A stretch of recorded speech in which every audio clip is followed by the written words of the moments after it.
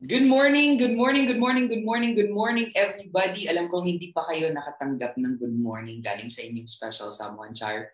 So ito na po, this is your good morning greeting. Good morning, you're welcome po. This morning is indeed good and beautiful and amazing. There's so much to be thankful for because we are all gathered here virtually to have an engaging discussion on sustainable lifestyle. My name is Val Bastille. I was your speaker in the first part of this webinar series, but now I have been honored to be invited by EMB to host and moderate this very significant webinar. I'm the Executive Director of the Association of Young Environmental Journalists or AYEJ. Ang misyon po namin bilang isang environmental nonprofit and startup media organization is to hashtag let the earth be heard through our different storytelling and capacity building strategies for the youth. And we will definitely let the earth be heard today as we will explore different initiatives that help promote sustainable living through social enterprise and green apps. Welcome everybody to hashtag Tech to Protect, green apps for sustainable living.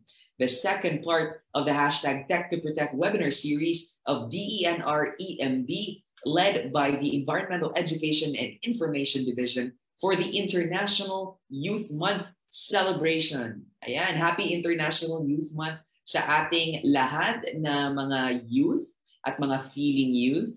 We are inviting everyone, especially the youth, to empower ourselves, reimagine a better world, and revive our environment. Now, the Green App for Sustainable Living webinar aims to feature the use and positive impact of green mobile applications and social enterprises in environmental management and protection. Through this, the EMB will be able to promote the digitalization that digitalization may not be the only answer to our environmental problems, but it's a good answer and along with behavior change, it can be an important part of the solution. Now that's out of the way. What better way to start this program than with a solemn prayer and the singing of the Philippine national anthem? Please watch this.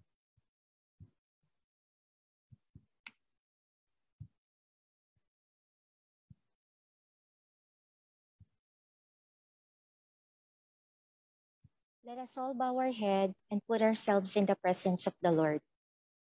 Father in heaven, thank you for your goodness and for your blessings over us. We are grateful for giving us the opportunity to come together and learn on this webinar.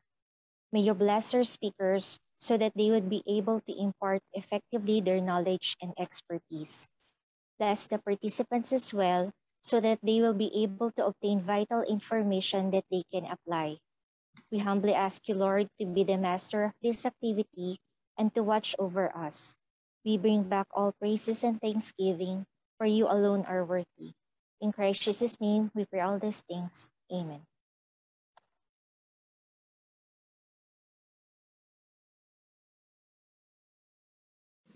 Mga kababayan, ang pambansang awit ng Pilipinas.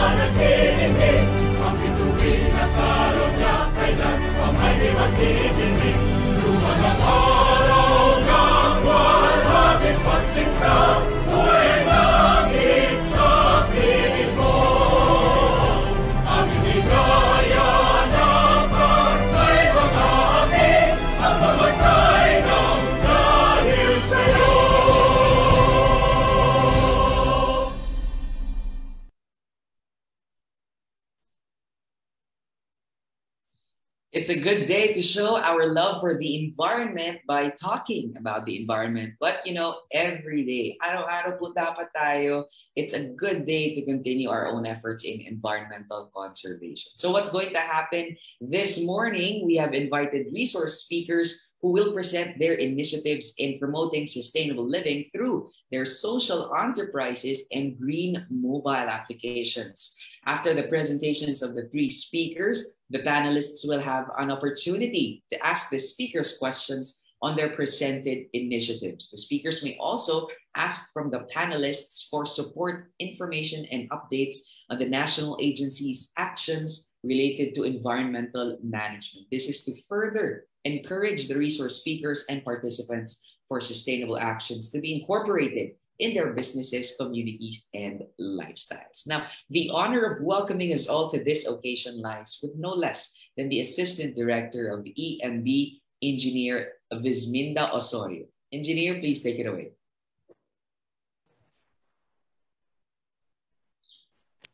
Thank you very much, uh, Val. So muli isang maganda at uh, makulimlim na araw po sa ating lahat. Good morning, everyone. So on behalf of the DNR Environmental Management Bureau, I warmly welcome everyone to the second leg of our Tech to Protect webinar series. So for those who have joined us in our first webinar last week, welcome back. And uh, of course, for our new attendees uh, and viewers, Thank you for joining us uh, today. I would also like to extend my greetings to our panel of uh, reactors from the EMB Solid Waste Management Division, DNR Climate Change uh, Service, and uh, the National Youth Commission. Maraming maraming salamat po sa inyong pagpapaunlak ng aming imbitasyon. And uh, of course, uh, this webinar series aims to feature the uses of uh, potential or positive uh, impacts of digital technology on environmental management and uh, protection. And as our online pre presence are increasing during the itong sitwasyon natin, there is also the need to step up our games our game in terms of uh, being environmentally aware and uh, knowledgeable.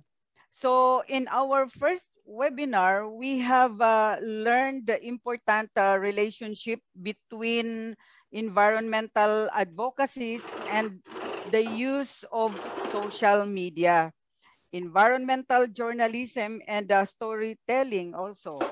And uh, after all, we will not be able to address uh, various environmental challenges our country is facing unless we have a glimpse of the big uh, picture. So this morning, uh, our focus uh, will be on green apps or mobile and uh, online applications which provide solutions uh, tips and uh, vital information on proper environmental management such as uh, waste segregation in in yan ngayon ano composting monitoring of uh, water bodies and uh, air quality. And of course so sa local uh, LGUs natin ang yung mga environmental concerns And uh, I, I highly encourage everyone to please uh, listen, ask uh, questions, and uh, try out these uh, app, apps in your own mobile uh, devices after today's session. It is never too late to add value to our online presence and our use of digital technology by uh, being environmental environmentally responsible changing our behaviors and uh, believing that uh, we can be part of the solution. So with that thank you thank you very much uh, for joining in this uh, webinar and uh, hope to see you again in our future activities. Maraming salamat po at mabuhay po tayong lahat. Good morning everyone. Back to you val Maraming salamat, Engineer Osorio, for reminding us no why we are here in the first place. Sabi ni Engineer, we should learn to add value to our own social media presence. So thanks for believing in the power of youth engagement and supporting social enterprises. Now, we would like to request everybody to please turn on their cams very quickly. I'll give you around five seconds to turn on your camera. Magpa magpaganda muna tayo dyan, magpapogi muna tayo because we want to have a photo, a photo opportunity with Engineer Visminda. Alam kong mahirap itong online kasi we're not able to see each other physically, face-to-face. Pero, ayan. Pero it would be good to see na we are all over the Philippines. All right? So someone from the team will be um, taking the photos. We have five panels right now. So baka nasa fifth panel ka. so please, everybody smile. One, two, three for the first panel. And then for the second panel, one, two, three, smile. Okay. Third panel, one, two, three, smile. Wala na pala sa third. Ah, meron. Fourth panel. And the fifth panel. Ayan. Thank you so much. If there's anything I saw in common, it's that Earth Warriors are handsome and beautiful people. Do you agree? If you agree, put your thumbs up and comment the Zoom chat box. At this point, allow me to introduce our esteemed panel of reactors who will share their expert opinion and insights from the presentations of our panelists. I will call them one by one to just have a to give a good morning greeting to everybody. First, we have for uh, the OIC of the Solid Waste Management Division of DNREMB, Ms. Maria Delia Cristina M. Valle, Valdez. Hello, good, good morning. morning. Good, good to see you again, I'm Delia. Yeah, yeah, yeah. And now we have the officer in charge of the Climate Change Mainstreaming and Integration Division of the DENR Climate Change Service Miss Susan Ruth Nool. Miss Susan, hello. Magandang umaga sa iyo. Kung nandito ka po, Miss Susan, pakigalaw ng digital na baso. All right, siguro Miss Susan uh, will be up and coming in a while. And of course, we have a youth, the youth advisor of Green Education Philippines, very good friend of mine, the true Lodi, Sir Vermont Timbas. Hello, Hi, Sir Val. Opo, and of course sa ating uh, mga participants and of course sa ating speakers right ano right now po. So ayan po, green and good morning everyone. Maraming salamat Sir Vermont. Thanks for joining us. We are truly looking forward to hearing from all of you. So let's get the ball rolling and proceed now to the presentation of our speakers. Alam niyo mga kapatid, we got the best of the best. Talagang dito talaga. So this is definitely worth the wait. Before that, however, I would like to remind our participants here in the Zoom room and our Facebook live stream to engage with us and the speakers at any point in the presentation. If you have insights, comments, or some questions that you have in mind, feel free to fire away and comment it sa ating Zoom chat box or sa Facebook comments live stream. Also, do not forget to fill out our attendance form and Later, we will be having our communication evaluation form at the end of the program. So make sure you stay tuned for that. All right. So if you're ready for our presentations this morning, can I get a can I get a heart reaction from our participants dito sa ating Zoom? Can I get some heart reactions? Come on, come on. I want to see your heart reactions to see if you're ready. Heart, yes, I see Alexander's heart. I see Andrelin's heart. Ayun, Antoinette's heart. Thank you so much. Christine's heart, David's heart, Romilda's heart, James's heart. I see everybody's hearts this morning. Thank you so much for the participation. We are over a hundred in this Zoom room. So let's kick it off with our lineup of presentations, starting with the communications and marketing associate of the Plastic Flamingo or PLAF.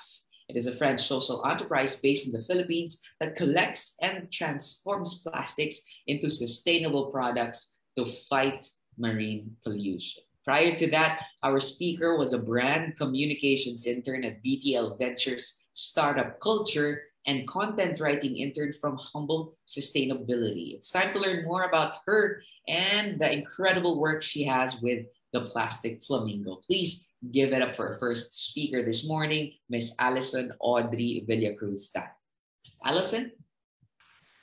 Hello, hi, good morning po everyone. Magandang umaga. Uh, just give me one second. I'll be sharing my screen uh, to show the presentation. Uh, I think I need to be able to screen share.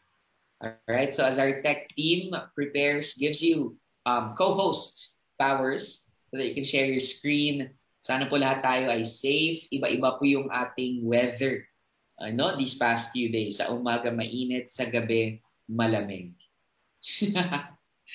so, I, climate change is real.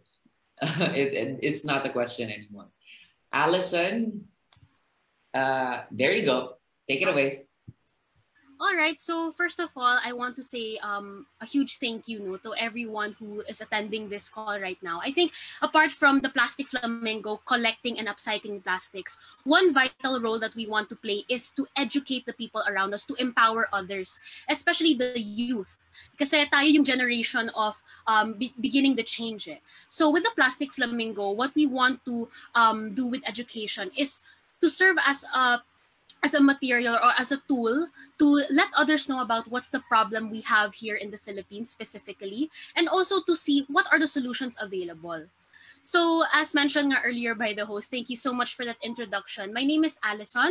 Um, for this call, Ali is already fine. I am the Communications and Marketing Associate. And I feel like it's quite fitting, no? Kasi my role at the PLAF involves community engagement. So this also involves how to educate people, um, handling the technology aspect of the PLAF, um, and how we can use that platform to um, eradicate change to other people. So with that being said, I want to give a summary of what I want to talk about today unang-una sa lahat, ang gusto kong pag-usapan talaga ay ang plastic crisis. Kasi bago natin malaman yung kung anong solusyong pwede, kailangan alamin muna natin kung ano ba yung problemang hinuhugutan nito. Diba? What is the reason? Ano ba yung nangyayari ngayon in the current um, dilemma of um, the Philippines plastic crisis? At syempre, pagkatapos doon, gusto kong pag-usapan kung ano ba yung mga posibleng solusyon na ready, na available na sa ating um, sa ating tabi, di ba? So that's also including the plastic flamingo as a topic for today. So I want to share this fact. I think most of us might have heard this na, pero sinasabing na one truckload of waste is dumped in the ocean every minute. So minsan ako kapag dumadaan ako sa sa sa road, sa kalsada, sa mga pag nasa kotse ako, nakikita ko yung tabi minsan garbage truck. Now, imagine that amount. Imagine that amount of garbage in that truck and multiply it to 60. And then multiply it again to uh, 24. Multiply it again to 30 and then multiply it again to 365. Now imagine that's the amount of waste that's being dumped in the ocean every year. Bakit nga ba? Bakit nga ba ito yung um, ginagawa ng mga tao? Unang-una, mayroon tayong um, toxic mindset eh, na ang laki-laki naman ng ocean. It's so wide, it's so deep. Tsaka wala naman nakatingin. So okay lang na mag-dispose ako ng basura ko dito.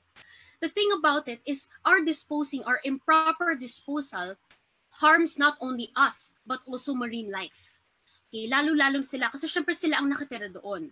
So that is also one of the things that the PLAF wishes to address and yun ay ang itakal ang marine plastic pollution dito sa Pilipinas. With that being said, I wanna connect it sa uh, Philippines bilang top 3, rank 3rd tayo sa mismanaged marine plastic waste. Ngayon, sinasabi ng mga tao na um, hindi naman tayo yung unang bansa na nagpro-produce ng plastic. Magkaiba kasi yun eh. Magkaiba ang pag-produce ng plastic sa pagiging mismanaging of uh, plastic waste. So tayo bilang bansa, ang katabi natin ay ang China eh, ang laki-laki ng China. Ang liit ng Pilipinas, baka hindi pa nga one-fourth ng China.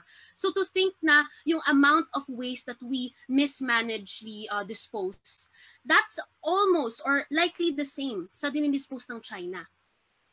So with that being said, dapat maging wake-up call to eh. Dapat magising tayo sa katotohanan na itong nangyayaring plastic crisis, hindi, napan, hindi na dapat nating hintayin na bago pa mag 2050, kapag tumanda na tayo. No eh. We should start today. We should start to become part of the solution. So I also want to share this. Alam natin yung plastic, hindi lang siya nakikita sa sa oceans, pati na rin sa rivers, sa water bodies natin na nandito sa ating city lalo na sa Metro Manila. So I live near Pasig kasi at kapag dumadaan kami ng aking kapatid, usually like sa car, dadaan kami, titingin ako tapos sasabihin ko, may mga ano kaya, may mga marine animals pa kaya na natitira diyan. And then she and then my sister would say, "Nako, siguro by now wala na or baka kung anong meron na sa loob." 'di ba? I mean, putting that joke aside, I guess we can see that the Pasig River, meron tayong binibigay na mga clean-ups, pero kung hindi tayo marunong mag-dispose ng plastic at uulitin lang palagi yung clean-ups, walang magbabago. We can't always rely on clean-ups eh. It is one way. But if we continue disposing um, with mis- uh, mismanagedly, talagang hindi matatapos ang problemang plastic natin. So, isang ring river ay ang Marilao River at kilala rin ito bilang isang river na very plastic polluted. Lalo na ngayon ang plastic, napaka um, sikat siya, if I could say, sa ating bahay, sa ating household homes. Lalo na ngayong pandemya, nakikita natin, diba, dahil work from home setup tayo, usually for most of us, diba, mapapatingin ka sa sa surroundings, sasabihin mo, nako, plastic pala tong phone case ko plastic pala tong, itong phone stand ko, plastic pala siya. Yung water tumbler ko, plastic siya, kahit sabihin mo may metal material siya. So, we see that plastic is already part of our lives. It's already something that we we depend on, 'di ba? Ang plastic rin lalo na sa online shopping. Nako, ako nabubudol ako na uh, sinasabi palagi natin pag sale, nako, I am a victim. Ayan, nabibiktima na naman ako ng online shopping. Pero paano pagbalik na rin natin? Paano pagsabihin natin tayo ang culprit ng online shopping? Dahil sa pag-consume natin, sa pagbili natin ng online shopping, dumadami ang plastic. Bumili ako nakaraan ng isang maliit na parang keychain para sa aking uh, bag sobrang liit niya, pero yung plastic niya napakalaki. Tapos may bubble wrap pa, may marami pang packagings. And sabi ko, kailangan ba talaga nito? Do we really need this much of plastic for just one tiny item? So I want to move on to um, also a few things where you can find plastic. Ito yung plastic packagings. As I've mentioned, um, lalo na sa grocery natin, 'di ba? When we go sa mga palengke, iniisip natin na importante ang plastic. At ako rin hindi ko i-deny. Hindi ko i-deny na ang plastic kailangan talaga siya.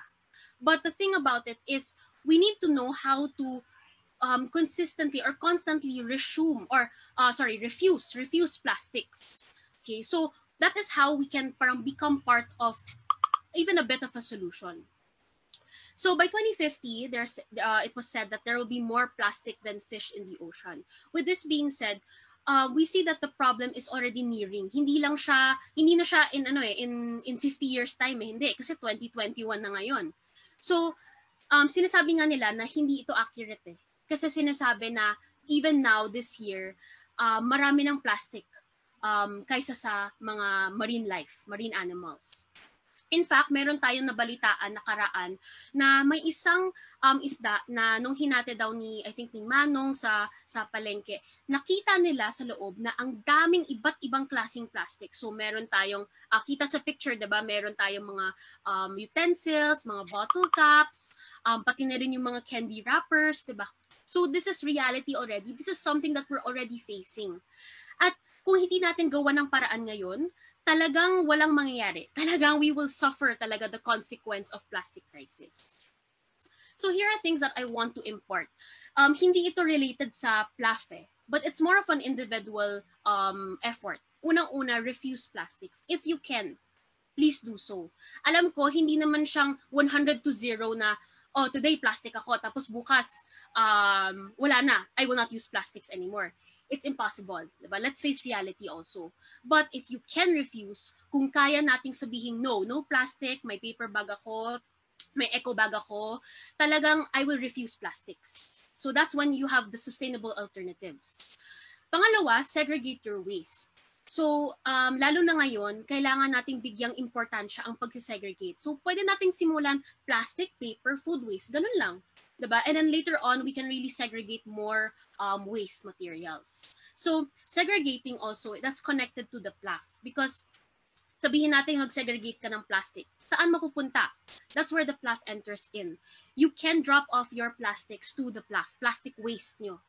At ang mga um, katulad ng the PLAF, meron rin mga ibang recycling centers na maaaring magbigay um, I guess parang would set as a good example or a good area where you can drop off your um, excessive waste. And the fourth one is, of course, to educate and inform. Napaka-underrated kung masasabi ko. Um, I major in communication in college and I feel like, you know, communicating, becoming a tool, becoming a voice is so underrated. Konting parinig mo lang sa, sa pamilya mo, sa kaibigan mo, that's going to radiate change already. So, with that being said, if we can start it in the simplest ways by just becoming a voice, you're becoming part of the solution. At masasabi natin na if technology can be used in bad things, it can of course be used also in good things. So let's choose of course the the better half, right? So that's where I want to uh, mention some solutions. Now I want to move on to the technological or technical aspect of what the PLAF does at paano ba kaming nagiging parte ng solusyon. So meron kaming tinatawag na PLAF loop kung saan um, nagko-kolekta kami ng plastic, So ito ay isang parang halimbawang um, uh, photo na meron kami. At ngayon, nakakolekta na kami ng 100 tons of plastic waste. So um, it's one of our very big milestones. Pagkatapos namin ikolekta, isinusort namin siya at nagiging flakes siya kung saan ito ay ang main ingredient sa pag-extrude namin ng plastics into eco lumbers. Ngayon, ano yung eco lumbers? So, nakita niyo yung picture ngayon sa um, sa kaliwa, meron siyang uh, meron kaming deck or uh, boardwalk kung saan ito yung um, gawa sa eco lumbers. So eco lumbers, what we want to do is not just make it a materialization, but also use it as a material to make or to build houses. So I'll mention that later on. Pero ito yung konting qualities ng aming eco lumbers na maaaring makatulong So at the same time that we're collecting plastics, we're also trying to make use of that plastic waste. At hindi lang basta-bastang uh, matatapon or masusunog. Uh, in fact, ang pagsunog ng plastic, very, very dangerous. Diba? So um, we also want to address this. Eh. Yung housing shortage natin sa Philippines, grabe yung backlog natin sa sa housing. So what we want to also focus with um, our mission is to also be, uh, build transitional shelters. Ito ay ang konting sa aming mga designs na meron. So ito ay parang sari-sari store at pati na rin sa, uh, for leisure.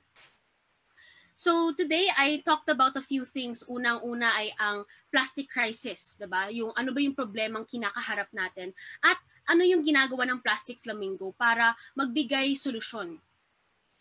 Pero ang nasa loob nito ay ikaw ikaw, ako, lahat tayo dito, uh, lahat, hindi lang dito, pero 'di ba lahat na ma makaka-impluwensya natin. The fact that we can start a movement, the fact that we can take steps and take action to become part of the solution is already something. Collecting plastics from your home, looking into so sustainable alternatives, or simply becoming a voice, it already sparks attention, sparks action. So that's where I want you to take part in. Um, lalo na ngayon, um, yung social media kasi, it's one tool to educate people. So para sa PLAF, ginagawa naming social media um, platform ang aming mga Facebook, Instagram, pati na rin TikTok, um, parang magbigay ng um, ideya kung anong ginagawa namin. So you can find us on our socials to check out our drop-off points at pati na rin mga instructions. So just to um, put it out clearly, we accept all types of plastics and what we do not accept are non-plastic waste or plastics with residue. Uh, kung madumi pa, hindi namin ina-accept. And I want to close it with just this short quote. Individual efforts can bring excellence, but only collective efforts can deliver effectively. Ngayon, ngayon na alam nyo na at kung anong pwede nyong gawin, anong pwede nyong simulan, we have to start becoming um, part of that solution. We have to think about also how we can influence others. Um, sabi nga nila, ako kasi, marketing kasi ang aking gustong, um, uh, parang that's one of my parang missions in life, to market, to communicate. And for me to say na nag-market tayo ng mga produkto, diba? We, we are part of some companies that market and communicate products. We also have to use that skill to communicate the environmental awareness that we can. So that's when we can really take a step and take action. So I thank you again, um, lalo na sa um, organizers nitong event sa pag-imbitado sa PLAF para maging parte nitong um, awareness. At maaari nyo kaming hanapin sa aming socials. We have on Facebook, Instagram, LinkedIn, at pati na rin sa TikTok. So I thank you and I'll give, uh, bring it back to our host. Thank you. Thank you, Ali. I enjoyed your talk so much. I follow you on TikTok as well. Thanks for reminding us uh, of very important things that uh, we always need to take note of. Kahit ako, guilty ako um, sa mga na-mention ni Ali. Pero sabi niya, we can refuse plastic. We should segregate our waste. And we can engage with PLAF to, uh, to take care of collecting our plastic waste. And of course, they need to educate and inform, which is what you are doing, Ali, sharing your story. And of course, which is what we are doing here in this hashtag Tech to Protect webinar. Maraming salamat, Ali, and we will have you back later for our uh, open forum. Now, for this next discussion, we will have another woman share their story of uh, solutions-based app. Our speaker has joined WWF Philippines as a project manager leading the country's first ever sustainable consumption and production project with a focus on food service and hospitality sector in the country called the Sustainable Diner, a key ingredient for sustainable tourism. Furthermore, she's also leading an innovation project that helps promote food waste diversion away from the landfills, known as Soil Mate, an IT solution on food waste diversion through composting. This licensed environmental planner and registered nutrition dietitian has nutritionist dietitian has 14 years of diverse work experience with a special focus on sustainability, sustainable consumption and production in food systems, hospitality sector, human and planetary health promotion, among others. Ladies and gentlemen, our second speaker, Miss Melody Mello Rake. Your turn to enlighten us. Hi, Val. Can you hear me clearly? Very clearly, Ms. Okay. Hi, good morning. Uh, isang likas kayang umaga sa ating lahat. So likas kaya is actually the Tagalog or the Filipino term for sustainable. So I, I hope uh, you have learned a thing or two for from me for today, and of course from our other um, other participants in other parts of the Philippines. Maayong buntag, um, naimbag nga bigat for Ilocano. So good morning po sa inyong lahat. Um, maybe we can start sharing my screen now. Okay, thank you. So as mentioned by Val a while ago, uh, I'm leading the Sustainable Diner project and also leading Soilmate uh, project of WWF. Um, next slide, please. So just to give you an outline of my presentation for today. So we will be focusing on on uh, three ma uh, four major things. We will start with the introduction of WWF and of course the Sustainable Diner Project with which um, the Soilmate app was born. The second one is why do we zero in on food waste? How how is how is the problem of food waste relevant to to our country today? And of course, the third one would be on uh, Soilmate, Soilmate project. Why did we did uh, why did we embark on a journey towards a Soilmate. And last, the Soilmate mobile app. So let's start with our organization. I think you are very much familiar with our organization, our famous panda logo. So WWF, previously we are known as uh, World Wildlife Fund, but now we are known as Worldwide Fund for Nature. So we are one of the largest um, conservation and um, conservation organizations in the world operating in more than 100 countries and here in the Philippines, we started in 1996. So as mentioned, we were known as uh, World Wildlife Fund, but we changed our name to promote a greater mandate, meaning we are not only focused on preserving and protecting our wildlife or our species, but also any challenges that our country is facing today. So we have we have um, projects that are centered on climate and energy. We also have on freshwater management. We also have our species conservation, and of course we have food, which my projects are very much related to. So for the next slide, it's all about the Sustainable Diner Project. So bagong-bago siya dito sa Philippines. So we started in 2017 and we will be concluding this September. So what is the Sustainable Diner Project all about? So the main goal of this project is to really promote and integrate sustainability principles in our policies, may, may it be local or national.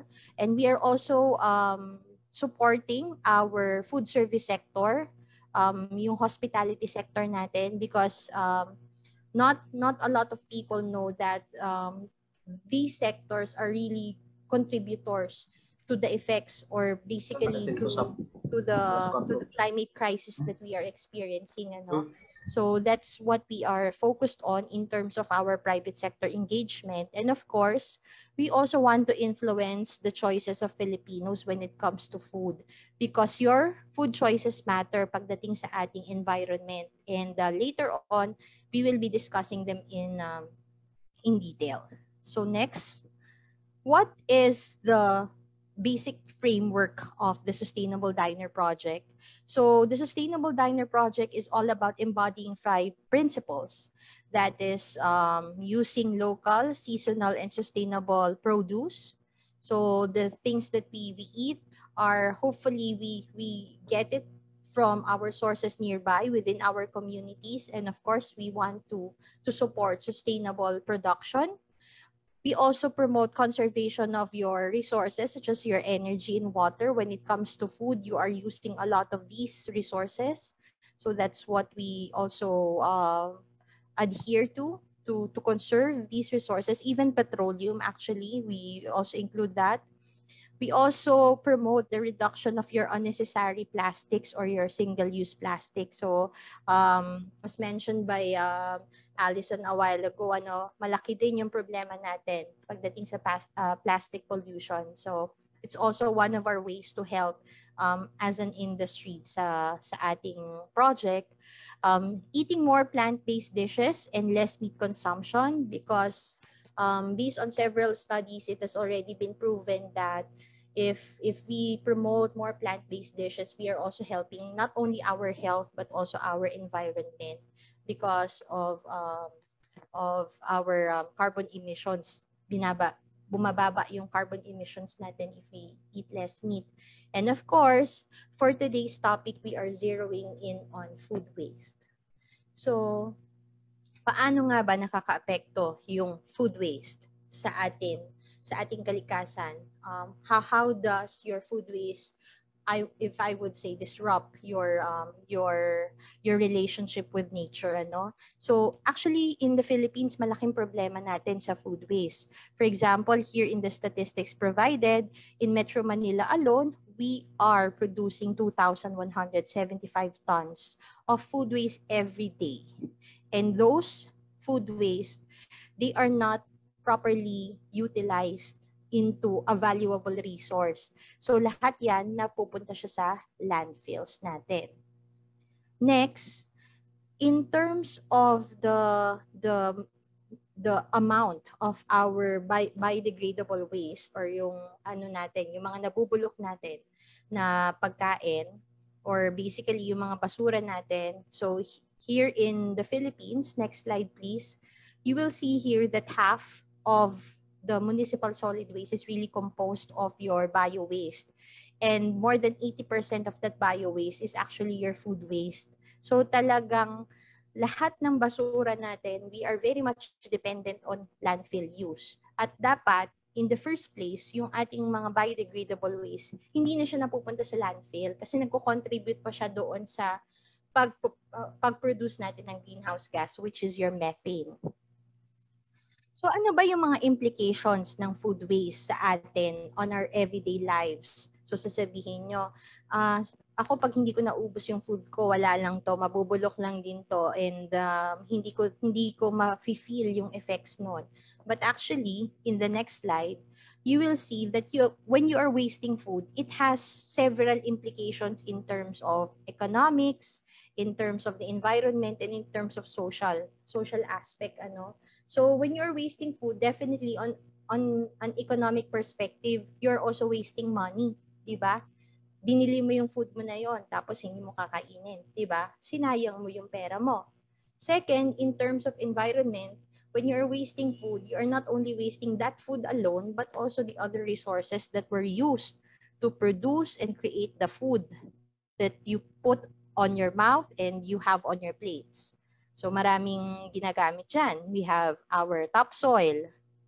Di ba? Pag tinatanim mo siya, gumagamit ka ng, ng water, gumagamit ka ng manpower, gumagamit ka ng other resources for you to have it on your plates. So, nasasayang din siya when you're wasting your food. And on the social aspect, um, we see now now more than ever that hunger and food insecurity is very much prevalent. So if you are wasting food, um, you are wasting also the opportunity for that food to be to be eaten by someone else and to be to be utilized and to nourish. So nawawala yung aspeto na yon and hindi natin pwedeng sabihin na kapag kinain mo yung food mo ay mabubusog yung iba. Hindi ganun yung perspective natin. What we are trying to say here is you are blessed with that with that um, food. Um, might as well use it for the greater good. Or if you will not be using it, you might as well share it. So later on, papakita namin sa inyo yung aming um, prevention and uh, food waste reduction methods na pinopromote namin sa project. So another another concern pagdating sa food waste, yung nabanggit ko na kanina is um, 7% of our greenhouse gases are actually coming from food waste. So malakas din yung greenhouse gas na pinuproduce ng ating food waste. It's your methane. So, mas mataas yung kanyang heat trapping capacity compared to your carbon dioxide. And at the same time, um, talagang, ano siya, um, um, contributor talaga siya pagdating natin sa pagdating sa ating greenhouse gas emissions. So what do we do? So what are our green solutions to food waste problems? So next slide please. So just like in any um, waste management system, the very first um, very first thing that you have to do is to prevent or reduce at source. So kung mapipigilan mo naman na magkaroon ka ng food waste sa inyong mga tahanan and sa inyong everyday living, do so. So yun talaga yung una. Second, if you are if you have excess food and siya ay sound and edible pa rin siyang kainin, pwede niyo po siyang i-donate. So it will also address other problems in terms of food security, hunger, and mal- malnutrition. And I think here in the Philippines talagang nagawa natin siya because of our community pantry, di ba? So talagang nagkaroon tayo ng avenue para magbigay ng ating mga excess food. And of course, kapag ka meron talaga tayong food waste na hindi natin ma mapigilan na ma-produce or talagang unavoidable na siya, that's the time we do our diversion methods or yung composting natin. Next, please. So, here in the metro, talagang ma malaking challenge for us to do composting. Um, because initially, when we did this project, we, we designed it for businesses, but we we now see that there's also food waste that are are being generated on the household level at an unprecedented rate kasi lumipat na nga yung yung food waste natin from the commercial side to the household level ano so yung mga problems natin yan uh, limited options for them to divert food waste meron tayong limited space for composting um, yung ating RA 9003 na dapat per barangay merong MRF wala tayong ganon. So, walang composting site. And yung composting kasi, if if you do it the traditional way, meron talagang nai-emit siyang odor. So, in terms of hygiene, meron siyang implication. And meron din talaga tayong mga problems pagdating sa waste collection. Okay? So, how did WWF found a solution for this uh, food waste problem? So, we have now our partnership with Green Space. So it's a social enterprise that is mainly focused on collecting and composting your food waste. So nakita namin yung potential niya and we want to partner them and we want to help them how to how to make their their advocacy uh, better uh, better reach the other the other um, people na hindi alam yung soil yung soil mate and yung green space. So that is your um, SoilMate mobile app. So together, we will be developing an app that would um, reach people and at the same time provide more information and um, because dig- digitalization is the way to go now. So alam natin na talagang ang technology malaki yung papel papel niya sa atin sa sa buhay natin ngayon ano? So that's why we came up with soilmate so the main goal of soilmate is really to divert your your food waste away from the landfills. And you will be using the app for you to have your buckets at your doorstep and at the same time green space will be the one collecting it for you But of course, um, we don't have naman the expertise to do it, to to to have the SoilMate app, um, kami WWF and Greenspace. So we sought uh, the expertise of a mobile app developer. So it's Optimine Technology Solutions who helped us develop our our app. So paano natin siya gagawin? So the main the main um, idea of the Soilmate app is your book a bucket experience. So ano to? Um, let me have first the next slide. Next slide, please. Another one. Okay. So here with the book a bucket, you just need to collect your food waste in your green space composting bucket. Then when your bucket is full, um, you will book a bucket through the app and green space will get it for you. So you will be given another empty bucket for you to fill. So dalawang dalawa yung ano um, buckets bali na ma-receive mo every time you do exchanges. Uh, one bucket pala. One empty bucket and you will exchange it with a full bucket. Okay? Next. So meron tayong subscription plans pagdating sa SoilMate. So we have here um, compost at home and compost at work. So when you do compost at home, basically you do it on a household level and uh, generally what you do is to to have to have or assess gaano ba karaming food waste yung ginagamit ninyo or napoproduce ninyo as as a family. Then you also have um, compost at work So ito naman yung mga businesses natin who would really want to take their journey to the next level. Ano? So meron tayong tatlong subscription plans. We have the Soilmate Rookie, Soilmate Enthusiast, and Soilmate Hero. So pag sinabi mo Soilmate Rookie, you have the, the subscription for three months. For Soilmate Enthusiast, you have the subscription for six months. And for Soilmate Hero, you have the subscription for uh, one year or 12 months. So I myself is a Soilmate hero. I'm subscribed um, for one year and um, so far so good. I'm happy with with what what we are doing. We are helping the environment in this urban jungle na wala kami masyadong access for composting facilities. So this is what we are doing now as a family. Okay? So next slide please. So ito yung compost at home. So i-determine mo muna kung ano yung composting subscription yung gagawin mo or gagamitin mo. Depende sa dami ninyo, sa family. And you can try it out first so you can be a soilmate rookie muna for three months. Then for compost at work, next, So yung compost at work naman, so depende sa number of employees ninyo, kung meron ba kayong sarili nyong food food canteen or meron ba talaga kayong facility na nagpo-produce ng food waste. So those are the things that you consider pagdating sa ating compost at work. Next. So ang maganda rin dito sa ating Soilmate app is that you see a lot of information.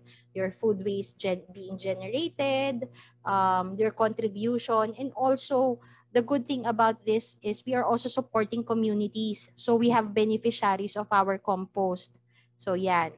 Um, next slide please. Punta na tayo. So yan, yan, yan yung main idea of the SoilMate app. But later on, we have a video that would um, give you a better uh, idea of the SoilMate app. Next slide, please. Okay, so ito yung um, information na ma-generate natin from the app. Okay, next. Okay, next please.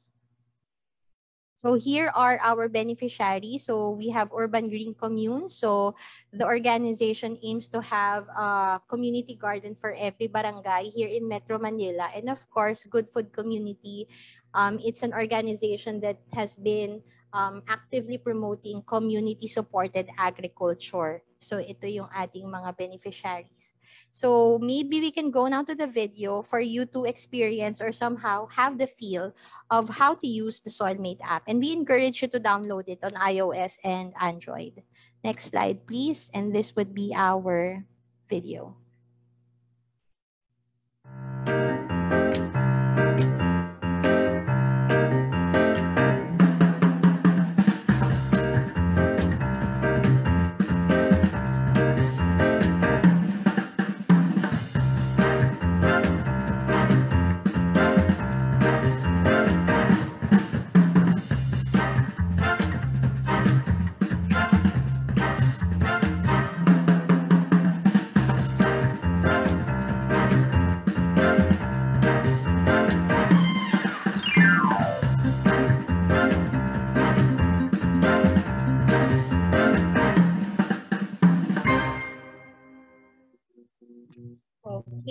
So that's the Soilmate app in a nutshell.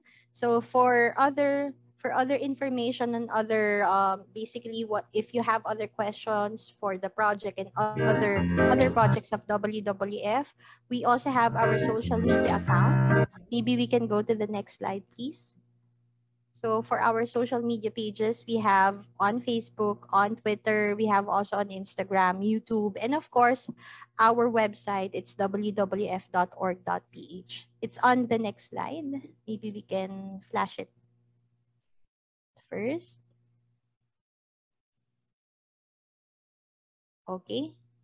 So thank you very much. And as we say in WWF, if we, if we work together, everything is possible. Together possible. Thank you very much and magandang umaga po sa inyong lahat. Maraming salamat, Miss Melody. I want to download this app right now, Soilmate. And I really Do love so. oh, oh, oh, oh. I, I will engage with that app after this. No, thank you so much for sharing the technology that uh, the WWF and the projects and the initiatives as well of the WWF that people can take inspiration from.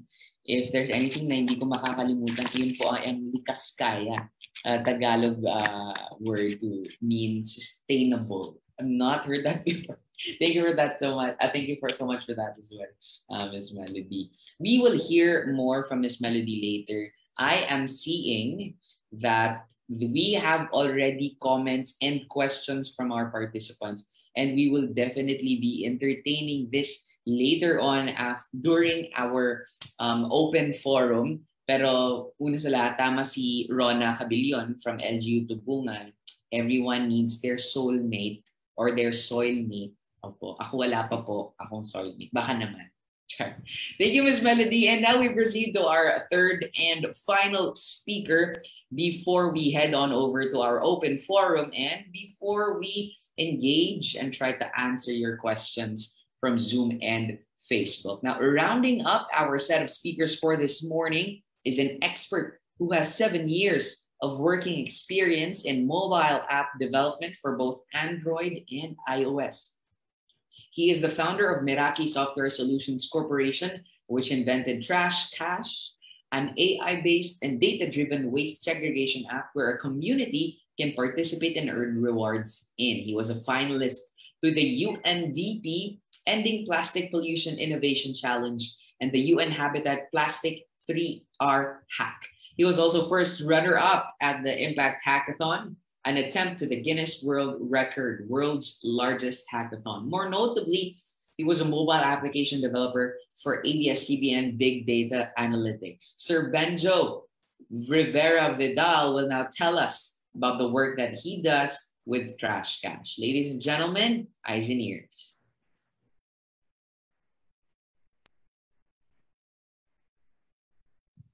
Hello, good morning, everyone. Uh, thank you, Sir Val, for introducing me.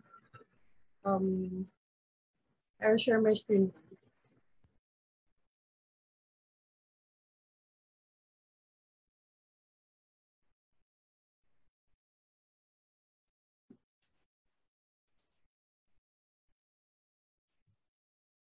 Right. So while we're waiting for Sir Benjo to share his screen, we are reminding everybody to stay until the end of our webinar for the communication evaluation form. And if you have not yet filled out the attendance form, the link to the attendance form is just in our chat box. Okay, I think Sir Benjo is ready.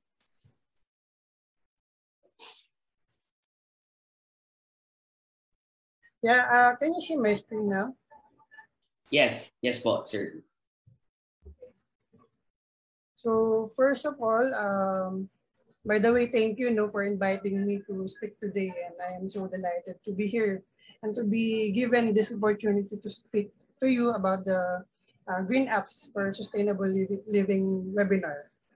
Uh, I would like to thank also Environment uh, Management Bureau for hosting today's event. And uh, thank you rin kay Ma'am Allison and Ma'am Melody of uh, WWF uh, for giving uh, pertinent informations uh, regarding on uh, waste management and um, uh, regarding on the soil, soil. So first, uh, I, I like to introduce myself. I am Benjo Vidal. I am the founder of Trash Cash and I'm here to share with you an app that uh, could encourage people to participate in recycling. About us, uh, we are actually a social enterprise startup that develop a platform that will orient, educate, and incentivize uh, Filipinos to know the value and impact their trash. So basically, we provide a community, a platform na pwede lang magamit to encourage them na mag-participate sa recycling since uh, meron kaming uh, pinopromote na uh, mga educational materials and aside from that, we give incentives doon sa community. And aside from that, we also collect, organize, and sort plastic materials with the help of machine learning technology. Actually, isa sa mga problem ngayon, no, lalo na sa mga nag-upcycle or nag-produce ng mga plastic out, ano mga products out of uh, plastic materials is unang-una contaminated na kagaya ng anong mga nabanggit ni uh, Ma'am Alison kanina, the flap. Um, hindi nila tinatanggap yung mga madudumi. Actually, yun yung isa sa mga gusto rin namin isolve.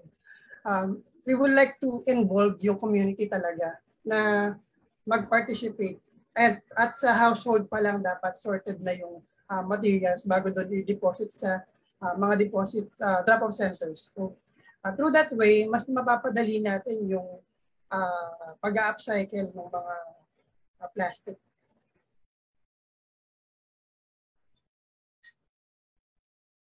Next.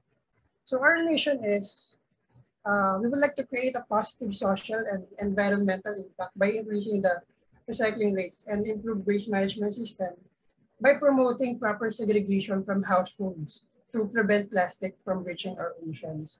So isa sa mga mission talaga ng, ng Trash Cash is mas ma-encourage pa talaga lalo na yung mga nasa residential area kasi alam naman natin na yung residential area talaga yung pinakamarami or pinakamalaki na nagpo-produce ng plastic na eventually napupunta lang din sa landfill tapos napupunta lang din sa ating ano, karagatan.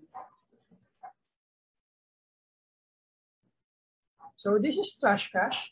Uh, Trash Cash is technically, technically an AI-based and data-driven waste segregation app where a community can participate and earn reward. So aside from that, we, we provide government or our community partner and private firms a traceable and trackable waste management system that they can use to monitor yung real-time data and insight regarding dun sa plastic na na-generate per area para magamit naman nila for their uh, efficient waste management plans. So this is our solution, like what I mentioned. Uh, we are not only focusing on the incentive or rewards, but also for the to, to educate people kung paano yung tamang pag-recycle, yung pro- proper way, uh, para mas napapadali yung proseso ng uh, pagre-recycle or pag-upcycle ng mga uh, plastic. So this is the Trash Cash interface. Basically, we have here the dashboard which shows the e-wallet or meron silang points every time na magde-deposit doon sa mga community partner or mga uh, partner naming barangay. So, yung mga points na naiipon nila, pwede nilang gamitin para mag-redeem ng rewards. So sa second screen naman, we have here the my impact data which shows the kung ilan na yung plastic na na-save mo from entering the oceans. So aside from that, um, we also have the marketplace uh, na pwedeng kung saan pwedeng mag-redeem ng rewards sila user. Yung mga rewards na nasa marketplace namin is galing siya sa aming mga community partner at mga partner brands na nagpo-promote din ng uh, sustainability. So we will like we, we really like to to uh, promote talaga yung sustainable living and aside from that uh, mas merong way yung mga tao na ma-discover na ah, may mga ganitong products pala na pwedeng alternative sa mga plastic. We also have here the machine learning which uh, automatically identify yung type ng plastic when you scan it using your phone camera. So through that machine learning, mas nabibigyan namin ng way yung mga users namin to learn na yung na may meron pala iba't iba pala yung klase ng mga plastic and how to properly segregate the, them, how to make it upcycle ready. So that's that's it. And uh, aside from that, uh, once na na-scan na ni user yung yung mga bottles, uh, they can add it to their cart na which madi-display naman yung kung ilang points yung ma-earn nila uh, based doon sa plastic na i-deposit nila sa kanilang barangay. So we have here the uh, the video from GMA Brigada uh, para mas makita ninyo yung buong process ng trash cash doon sa barangay. Noong tinamaan tayo ng bagyong Fabian nitong nakaraang buwan, nakahakot ng halos 15 tonelada ng basura sa Baseco Beach pa lang. At ang karamihan daw ng sa mga basurang nahakot, plastic. Siyempre, ang kasunod nito, kaliwat ka ng baha. Yak! Pero sa isang barangay sa Maynila, ang plastic basura raw pwedeng ipalit sa pagkain o gamit.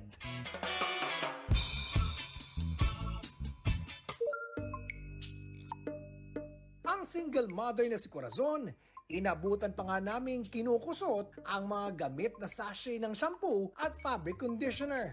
And then ginugupit ko, hinuhugasan ko, and then sinasampay ko. Dahil madalas din daw siyang kinakapos, ang pag-iipon ng plastic na basura ang naiisip niyang paraan para makaipon. Sa kanila kasing barangay, ang bawat plastic na maiipon may katumbas na points. Kapag nakaipon na ng sapat na points, pwede na itong i-redeem. Ang gusto raw niyang i-redeem sa mga iniipon niyang points, LPG na worth 800 points. Eh kasi mahal yun eh. Awas din sa akin panggastos yun kasi solo parent ako. Hirap ng buhay ngayon. Kulang pa ang points niya para makapag-redeem ng LPG. Kaya hindi raw siya magsasawang magpakilo ng mga plastic sa kanilang drop-off center sa kanilang barangay. Kung si Corazon LPG ang pinag-iipunan,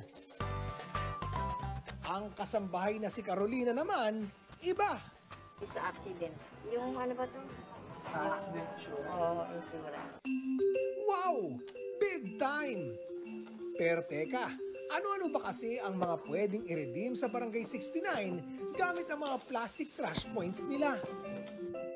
Merong tinapay, delata, hotdog, face mask, pati dengue insurance at accident insurance. Yung idea ng pag-integrate ng insurance as reward, actually nanggaling talaga siya dun sa work ko. Medical social worker kasi ako, sir. So, I deal with patients who are financially incapacitated. Dito ko na-observe napakaraming Filipino families who hindi talaga handa when it comes to medical needs. Very nice! Para malaman ang katumbas na points ng bawat plastic basura, ginagamitan ito ng phone app. Ito ang Trash Cash. Ang nag-develop ng phone app na ito, ang magkaibigang software engineer na sina Benjo at Bryce kasamang iba pa nilang mga kaibigang software engineer. Kung meron ka mga collected plastic bottles, pwede mong i-scan yun.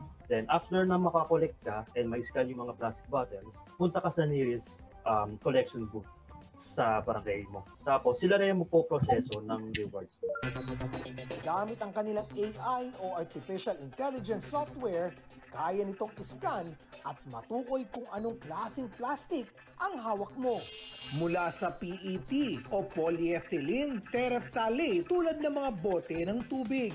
LDPE o Low Density Polyethylene kagaya ng mga plastic bags at mga online shopping delivery bags. PP o polypropylene o mga microwavable containers. PS o polystyrene na katulad ng mga CD cover. Ang hindi lang daw kaya nitong maskan, mga plastic mong kaibigan.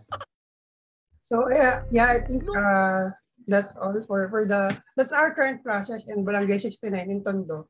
So aside from the app, uh, we also provide a dashboard for our community partner kung saan dito nila nakikita kung ilan na yung mga na-collect nila plastic, ilan yung collection nila per day. So it's more of the data man, data naman na pwede lang magamit for their um, uh, waste management plan. So aside from that, um, uh, aside from the barangay, uh, trash cash is not limited naman sa mga community area bas, uh, or barangay, uh, but also sa mga schools, pwede rin in condos, and actually yung mga malls. So this is our current process. So start with the app user kung saan uh, kailangan nilang ma-download yung app, yung Trash Cash app para makita nila kung ilan yung uh, points na ma-earn nila for that specific category of plastic at pwede sila makapag-add ng cart dun sa cart nila. Then after that, they have to reinforce user to, to clean, dry, and sort the plastic materials before depositing it to our community partner. Then si community partner or si Bila Barangay, all they have to do is to provide the drop-off center and the coordination with the community as well as yung rewards na pwedeng ibigay. Since our reward system is very dynamic, it actually depends on the community partner kung ano yung pwedeng ibigay nila doon sa constituents nila.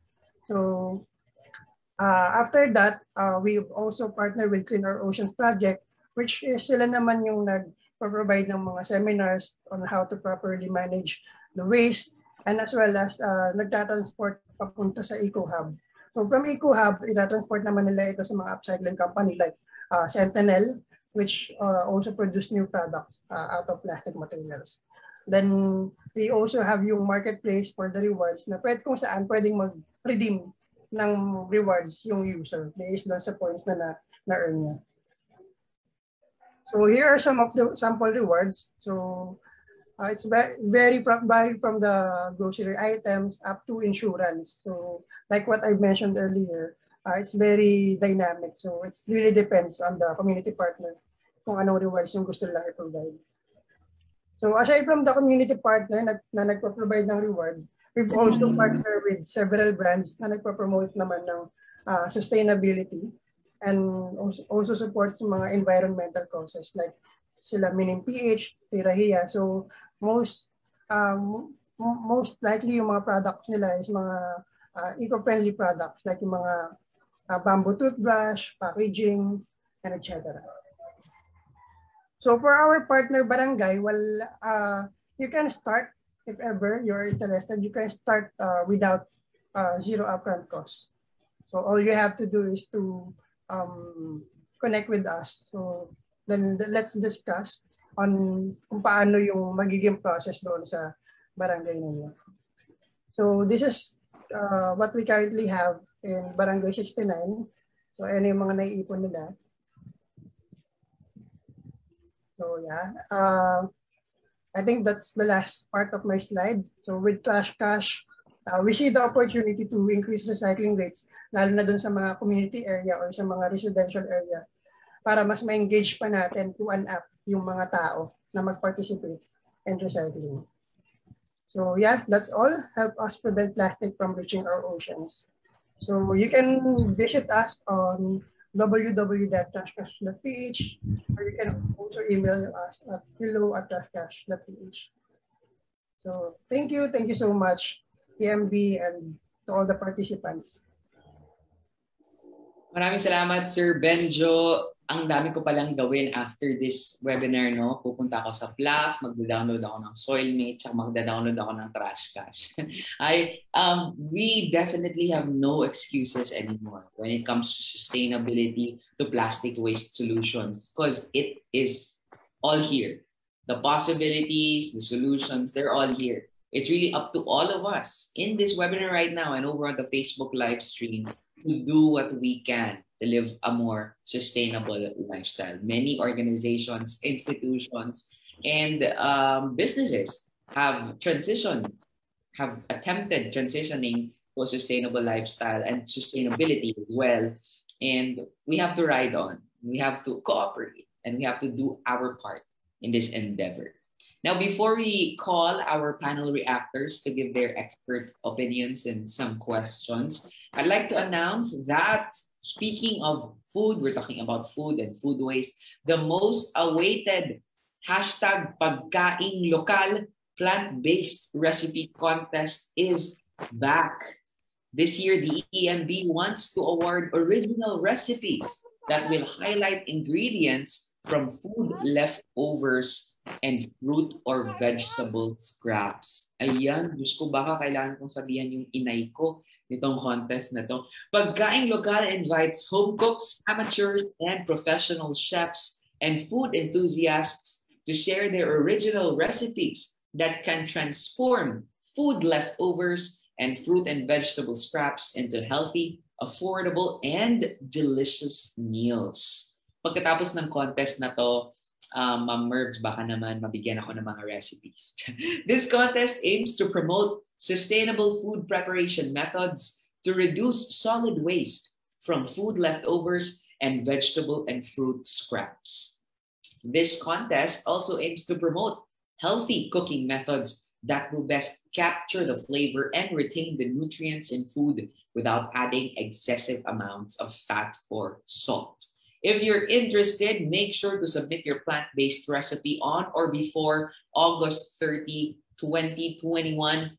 Please visit the EMB Central Office Facebook page for the full mechanics. All right, so we are looking forward to see your the best plant-based recipes all over the Philippines. And we now go back to our discussion and to our conversation with our invited panel reactors for this morning. We call them back to the virtual stage one by one. I'm sure madami silang nakuha at nanamnam na mga impormasyon at meron din siguro silang mga insights at mga tanong para sa ating mga presenters. May we call on first from the the OIC of the Solid Waste Management Division of DNR EMB, Ms. Maria Delia Cristina M. Valdez. Ma'am, Hi, good morning. Engage with our speakers. Go ahead. Yes, good morning. Wow, thank you again. Thank you. Uh, gagaling ng mga speakers natin, ano? Very young, ang gagaling, ang daming information, ang daming bago, ang daming mga innovations. And thank you for, for, for all of that. Siguro yung aking tanong, isa lang actually yung tanong ko eh, and this is uh, for the three of them. Pero before ko itanong, siguro ano, uh, isa-isahin ko na lang muna sila. Kay Miss Allison, Allison Audrey Villacruz Tan of Plastic Flamingo or yung The Plaques. Galing ano, uh, yung importance ng plastic waste management talagang ina-emphasize mo. Either yan ay macro plastics or microplastics, talagang na-emphasize. And uh, lagi mo sinasabi yung strict implementation ng RA 903 which is actually uh, within yung hierarchy of waste management, yung avoidance, yung reuse, recycling, treatment, and residuals management. And then yung na-stress mo talaga yung ano, uh, proper information and education. It all boils down sa proper information and education. Ika nga eh, uh, every plan will fail kung walang proper information and education. Uh, ang galing nung ano, output ninyong Ecolumbers. Ang ano ko lang siguro, isang additional input, um, the government will be uh, launching the National Plan of Action for the prevention, uh, reduction, and management of marine litter. And we would like you to look into it and maybe kasi uh, sampung strategies siya uh, anytime soon we will upload yung ating NPOA, yung ating tinatawag na NPOA ML. Anytime soon we will upload it and um, siguro tingnan nyo na kung saan kayo pwedeng um, magbigay ng um, help sa government or makipag-partner sa government in terms of uh, plastic waste management. Yun. Thank you. Thank you, Alison. And dun kay uh, Miss Melody Rake ng Soilmate mobile app, yung sa Sustainable Diner. Uh, isang likas kayang umaga sa iyo rin, Miss Melody. Um, sabi niya, no food will be wasted na, no? And all will be processed to something useful. Um, we have also, kami sa EMB, we have uh, distributed composting drums to most of our local government units uh, in the metro, in the Manila Bay area, and in some other regions din, makaka-receive din sila ng composting drums to process yung kanilang uh, biodegradable waste. Uh, siguro tingnan natin yung um, ma-link din sa inyong project, yung mga local government units na may kakayahan na to compost or to process yung mga biodegradable waste. Baka po pwede rin silang ma-involve or makagamit ng soil mate. Uh, isang magandang uh, paraan ito ng local government unit to measure their waste diversion. And siguro um, isang tayo na rin, baka pwede rin nating mailink yung ating application sa pag-measure ng ating greenhouse gas reduction Halimbawa, kung dun sa isang bucket na kuha sa isang bahay, baka pwede nating ma-measure through link to a software to measure yung greenhouse gas reduction na pwedeng makamit or pwedeng ma makuha pagka meron tayong ginamit na soil mate or na i-process sa ating uh, waste sa ating composters or na i uh, donate if ever yung ibang foods. Mayroon tayong mga pare-parehong ano no uh, goals, uh, objective and aim. And then kay Sir Benjo Rivera Vidal ng Cash Cash PH. Nakasama ko siya actually eh sa hackathon ng UN Habitat. And I was one of the judges and na binig ko na yung kanyang presentation. Um, yung, you earn points, you earn or you redeem, redeem the points to something uh, useful for you. Uh, and then yung kagalingan ng nasa scan, yung plastic, para ma-identify kung anong type of plastic siya. And then you exchange it to uh, for points. Um, baka, baka lang naman naisip ni Sir Benjo to explore kung si ate kanina sa barangay 69 ng Manila, nagamit niya sa LPG, why not explore na ma-tie up din sa ating uh, uh, basic utilities like water at saka kuryente. Yung bang makaipon tayo ng basura and we earn points and yung points na pwede nating ma-redeem, pwede pala nating magamit pambayad ng kuryente o pambayad ng tubig. So, yun lang, explore lang. Why not? Tapos, kita natin yung importance ng ano, ng digitization. Uh, kami sa EMB rin, uh, we are uh, going with the trend sa uh, development ng technology. Diyan kasi yung nasa-shorten na yung communication and reporting, and avoiding redundancies naman din sa recordings ng mga uh, figures. Isa lang ang tanong ko sa kanilang tatlo actually. Meron tayong isang aim, isang objective, meron tayong isang goal. Kayo as entrepreneurs at ta, kami sa government. And ang tanong ko lang siguro, saan kami pwedeng makatulong? Saan tayo pwedeng maging partner para yung ating advocacies, yung ating aim and objective ay ma-reach natin uh, without uh, being uh, competitors to each others, to each other. Ayun, ano yung pwedeng uh, maitulong ng government? Saan tayo pwedeng mag-partner? So yun muna siguro sa akin, Val. Thank you. Thank you, Ma'am Delia. Opportunities to engage and partner. We start with Ali, maybe, to answer Ma'am Delia's question.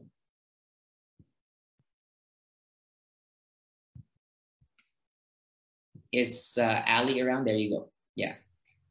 Yes, hello. Yeah, so thank you po for that comment also. I think um, with the PLAFNO, partnering with LGUs is something that we also very much want to look into, especially na hindi lang naman kaming enterprise, pero we also serve as an organization that can um, touch a lot of communities and individuals. So to look into LGUs and also I will uh, we will check on uh, to what you've mentioned po. We want to make sure na also people know about what we're doing, um, also with the plastic crisis. I think one problem na we see if if I can mention no, it's the banning of single-use plastics. Although I see it as something na it's very important eh, na we refuse these single-use, we also have to see that not everyone can afford non-plastic materials. Kasi plastic naman in general, they're very essential. Um, they're cheap, they're easy to um, to use, and then it's very lightweight, very durable. So parang that's also one thing that the PLAF wants to look into. Um, aside from refusing, there's also a lot, um, as you've mentioned nga po, there are 10 strategies, if I'm not mistaken, and we're very excited to also look into that on how we can pin and how we can help um, in these strategies and really um, become part of the movement for our country. Thank you so much, Thank Ali. you. Thank you, Miss Allison. All right, let's proceed now to Miss Melody. Yeah. Yes, thank you, Val. Thank you po, ma'am. Um, uh, we are very happy na may ganun po tayong ano, no, um, initiative that um, you see this as a partnership with um, with private sectors, um, social enterprises, and with you. So for Soilmate naman po, um, I believe um, one of the ways that we can engage is really to make the composting facility very near because currently we are we are supporting Metro Manila but the composting facility that we have right now is in Bulacan and Antipolo. So maybe if if there will be possibilities that the local government unit will be able to provide uh, a composting facility, it's a minimum of 300 um, square meters, ma'am. So if there will be possibilities for for green space to have that, um, syempre, di ba po, ang goal natin is to lessen greenhouse gas emissions. Um, as much as possible, we also have we also aim to have the green the the composting facility very near than the area no? So if there will be possibilities po in certain areas of Metro Manila na pa pwede po natin magamit as a composting facility. Kasi yung collection system nandun na po eh. It's already in place So siguro yun na lang yun po yung isa ko sa isa kong naiisip. Another is to support yung po mga organizations that promote community gardens. And that's one of our beneficiaries, yung urban green communes. If we will be able to promote that, ma'am, in, in our respective local government units, so yung pong compost na ma-generate po ng, ng soil mate, it can also be given to those community gardens. And you can really promote circular economy and also subsistence farming, lalo na po ngayon na, of course, we know na we have the ayudas and everything, pero iba pa rin po yung meron tayo talaga na pagkukuhanan ng source of food. So I think that's one way for us to have a good partnership with the with the government po pagdating sa soil meat. Thank you. Thank you. Thank you for Thank that. you, uh, Melody. Melody. For those action points talaga no, very concrete. Uh, good mention of circular economy. That's a buzzword that uh, we try to use and to talk about as we move towards a more sustainable way of living, um, especially in terms of business institu- institutions. Now, um, to represent um, the Climate Change Mainstreaming and Integration Division, DNR Climate Change Service. Uh, Miss Susan Nool, she had problems with the internet. Uh, she will be represented by Mr. J.M. Reboton for some reaction, uh, for to answer. Oh, sorry. Um, before we proceed to the session, I'm, I apologize. Before we proceed to Sir JM, Sir Benjo, uh, what is your response to the question uh, by Miss uh, Delia as to how uh, what you need and how the government can partner with you? Uh, yeah, actually, maraming actually maraming salamat po Ma'am Delia no, for giving us the opportunity uh, related dun sa mga partnership natin for the government. actually, isa sa mga problem namin ngayon is yung mga nakakausap namin community, sobrang interested sila. Gusto nilang ilagay yung trash, implement yung trash sa community nila. Kaso one of the major problem is yung storage facility nila. So wala silang ma-provide na storage kasi lalo na yung mga maliliit na barangay. So hindi hindi nila alam kung paano yung process, kung paano nila i-store yung mga mako-collect na plastic. So through your help, I think mas mapapadali natin yung proseso na may mas mailalatag natin yung uh, kung paano ma-implement yung trash cash doon sa mga community na nangangailangan ng mga support kagaya ng uh, mga storage facility. Thank you, Sir Benjo. Uh, last na lang, Val, uh, siguro uh, advice ko na lang dun sa tatlo kay uh, Melody, kay Benjo, tsaka kay Miss Allison. If they can uh, contact us uh, through the EMB uh, official or through the solid waste management uh, official email address, uh, baka pwedeng mag-provide sila ng uh, contact contact details doon sa aming email para makapag-usap uh, din kami uh, sa future undertakings. Thank you, thank you, Val.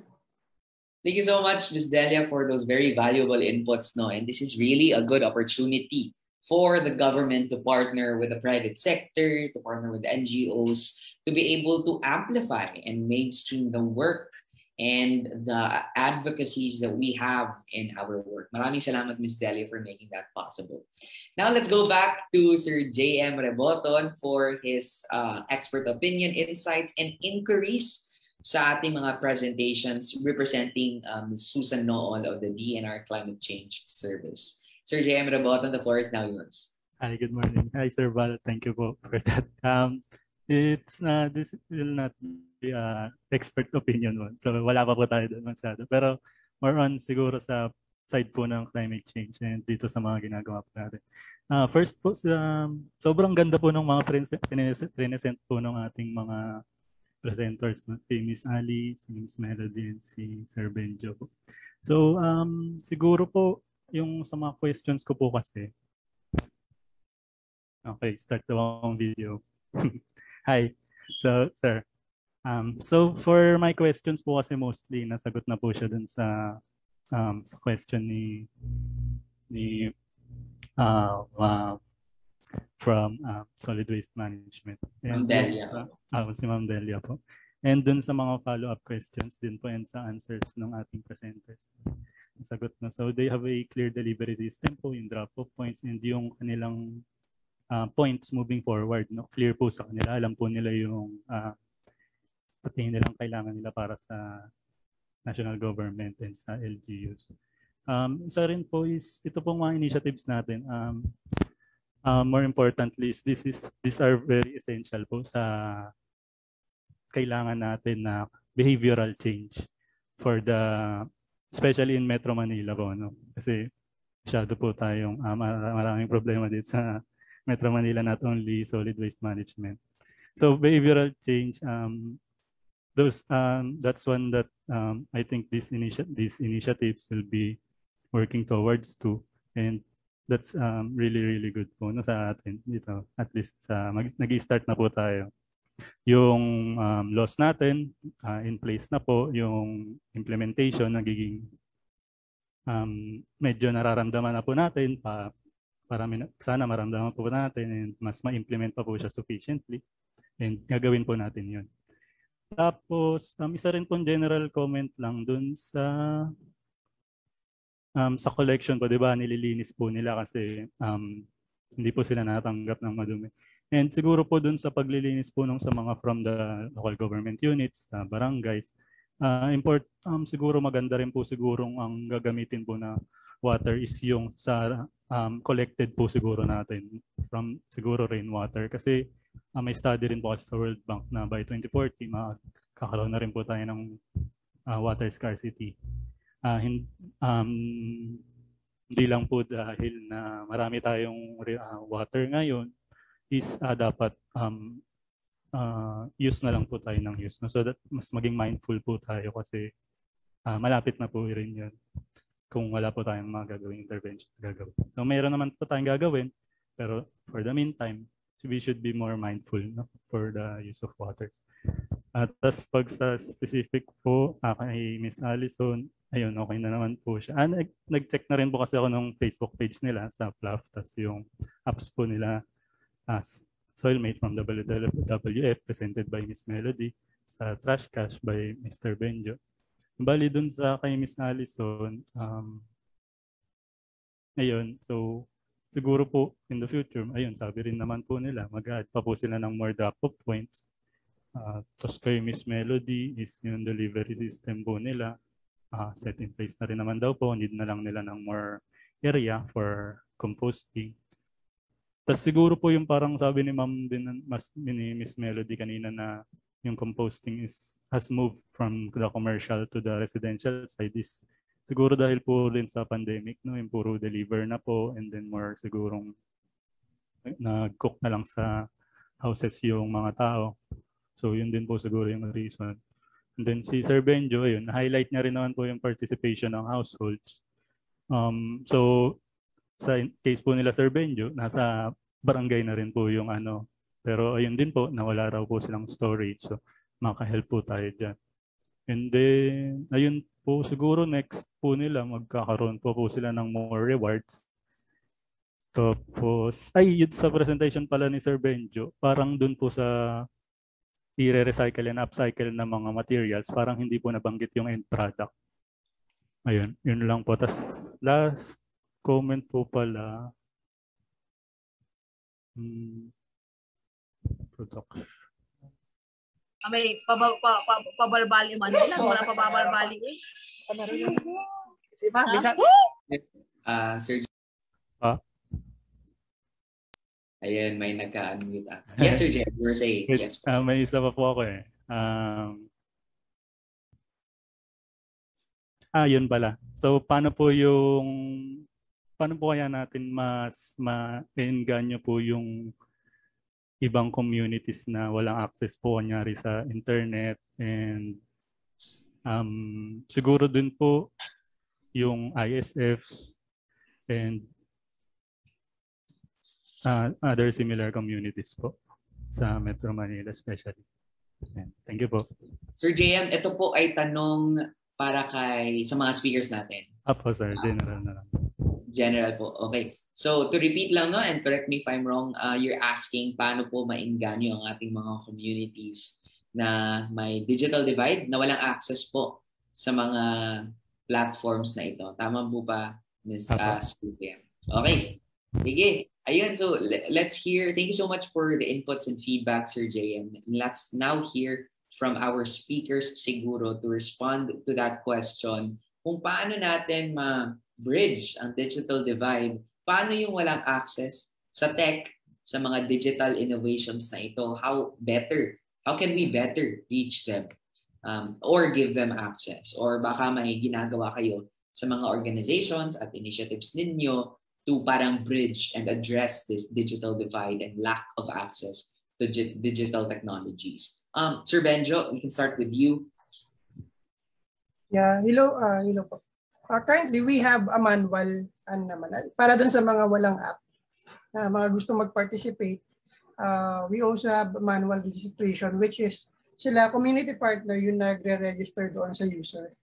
Um, then once registered na, uh, mag-generate yun ng QR code. Then ipiprint nila community partner. Yung QR code na yun, yun na yung gagamitin nila user every time na magde-deposit sila. Then pagpunta nila ng mga drop-off center, sila ano na mag-assist na lang sila community partner para dun sa transaction ng Nice. So yung manual nyo, Sir Benjo, it's just a physical copy, tama ba? Oo, may QR code. Are, oh, okay. Oh, yung Flashers kasi currently, uh, may mga features pa kami na gusto pang i-add and ang dami pa namin gustong i-develop na mga features. Mm-hmm. So since we're currently, I we, we recently uh, started pa lang this year. So marami pa kaming mga needs talaga improve. And we're looking forward to those, uh, Sir Benjo. Miss Melody, how about you in response to Sir JM's uh, Mm. question? Okay. So, um, ideally kasi talagang yung the app would really have, you, you really need to have access, ano, but uh, before doing the app kasi meron din manual system ang ang Soilmate. So we maybe we can just ask na lang din um our partner Green Space kung meron silang ganon na uh, idea. But generally kasi the idea for Metro Manila, we have we have access to to internet, we have access to technology. So sa ngayon ganon, but if we will be go to, going to other places, talagang valid yung question ni Sir ni Sir JM ano. So we can ask um Green Space if there will be provisions for for manual ulit. I'm not really sure kasi yun nga eh, nag-transition kami from manual to to app based. So we we have to check on that po Sir JM, but that's a really good point po. Especially for those places na in the Philippines na off-grid. Um, basically walang kuryente, walang tubig. So it's it's really a, a, a multifaceted issue. Ito pong kawalan ng access ano. Thank you, Miss Melody. And for Ali, you're on Facebook. Not everyone has Facebook, siguro. Um, how are you going about? Yeah, I think uh, in relation to also what Miss Melody mentioned, I think first that the PLAF does is really to look into accessible platforms. Um, we do believe na parang not everyone has the access, but majority still um, has the data for Facebook or such. And we also initially earlier this year, we thought of sending in pan, pa- uh, printed copies, but to have it printed again, it's another form of waste. So I think for us, the best way really is to be a voice. I think napaka cliche na the whole thing I'm talking about is to communicate. But it is, eh, it is vital. Um, for the PLAF, what we do, especially for our workers, um, we always give them a monthly parang speech or a, monthly uh, seminar to encourage them about what's been happening. And that's also something that we can start um, from our workplaces to really um, hold these kinds of seminars. It's one of the most traditional ways. Pero kung kaya natin na dati ganun ang ginagawa natin might as well ngayon, di ba? Um, yung nga lang, there's the pandemic, but still, it's not impossible. So I think that's really for the PLAF. Thank you, Ali. Sir JM, any last statements? Uh, Yeah. hopefully that answered your question. Ah, yes, ah, thank you for your answers po sa presenters po na. Tapos ah, we would like to show our support lang din po pala na for if you um, need anything for from the climate change service, um, open din po kami. So we will be sending our email na lang po sa chat box or i-personal message na lang po namin sa mga presenters. Ayun, maraming salamat, Sir JM. And really, we are... Um, Sir Benjo. Yes, maraming salamat po. Uh, we're really establishing these connections no, uh, in this webinar, and that's great. Uh, we have compiled and received some questions from our audience, and we will be entertaining those questions and giving them to our uh, speakers after our last panel reactor. And it's now his time uh, to engage with our presenters. Uh, Vermon Timbas, Youth Advisor, please take it away. Alright, thank you Sir Bal. So siguro no, isa-isa na lang yung question ko per presenter. So let's start with uh, Miss Ali, the Plastic Flamingo. No? Ask ko lang muna po, sino po yung target audience natin sa uh, Project Flamingo? Thank you po. Um, for our target audience, it's really communities and individuals, um, specifically here in Philippines. Do you also target yung mga nagpapagawa, let's say, nag-build ng mga houses? Kasi right now, we're having this Build Back Better na project no, wherein we also promote yung pag, ano, paggagawa ng mga, let's say, mga roads natin, pag-improve ng ating mga houses. So, naisip niyo po ba na maging good audience din po ito ng project niyo? Yes, um, actually right now with when it when it comes to the housing na ng, with the use of our eco lumbers, ang tinitinang talaga naming partner ay ang mga LGU at mga um, pati na rin mga corporations who are willing to help fund this project of ours. Since syempre housing is not cheap and it really requires a lot of support, um, gusto namin tingnan ng mga LGUs at iba-iba kasi yung, marami kasi kaming mission sa PLAF which involves like collecting plastics. So iba-iba talaga yung target audience. Kaya sinasabi namin palagi na it's really everyone or anyone who's willing to help out. Not sure if discuss mo siya, no? Pero for those na nagbibigay ng plastic, meron ka ba mga incentives na binibigay sa kanila?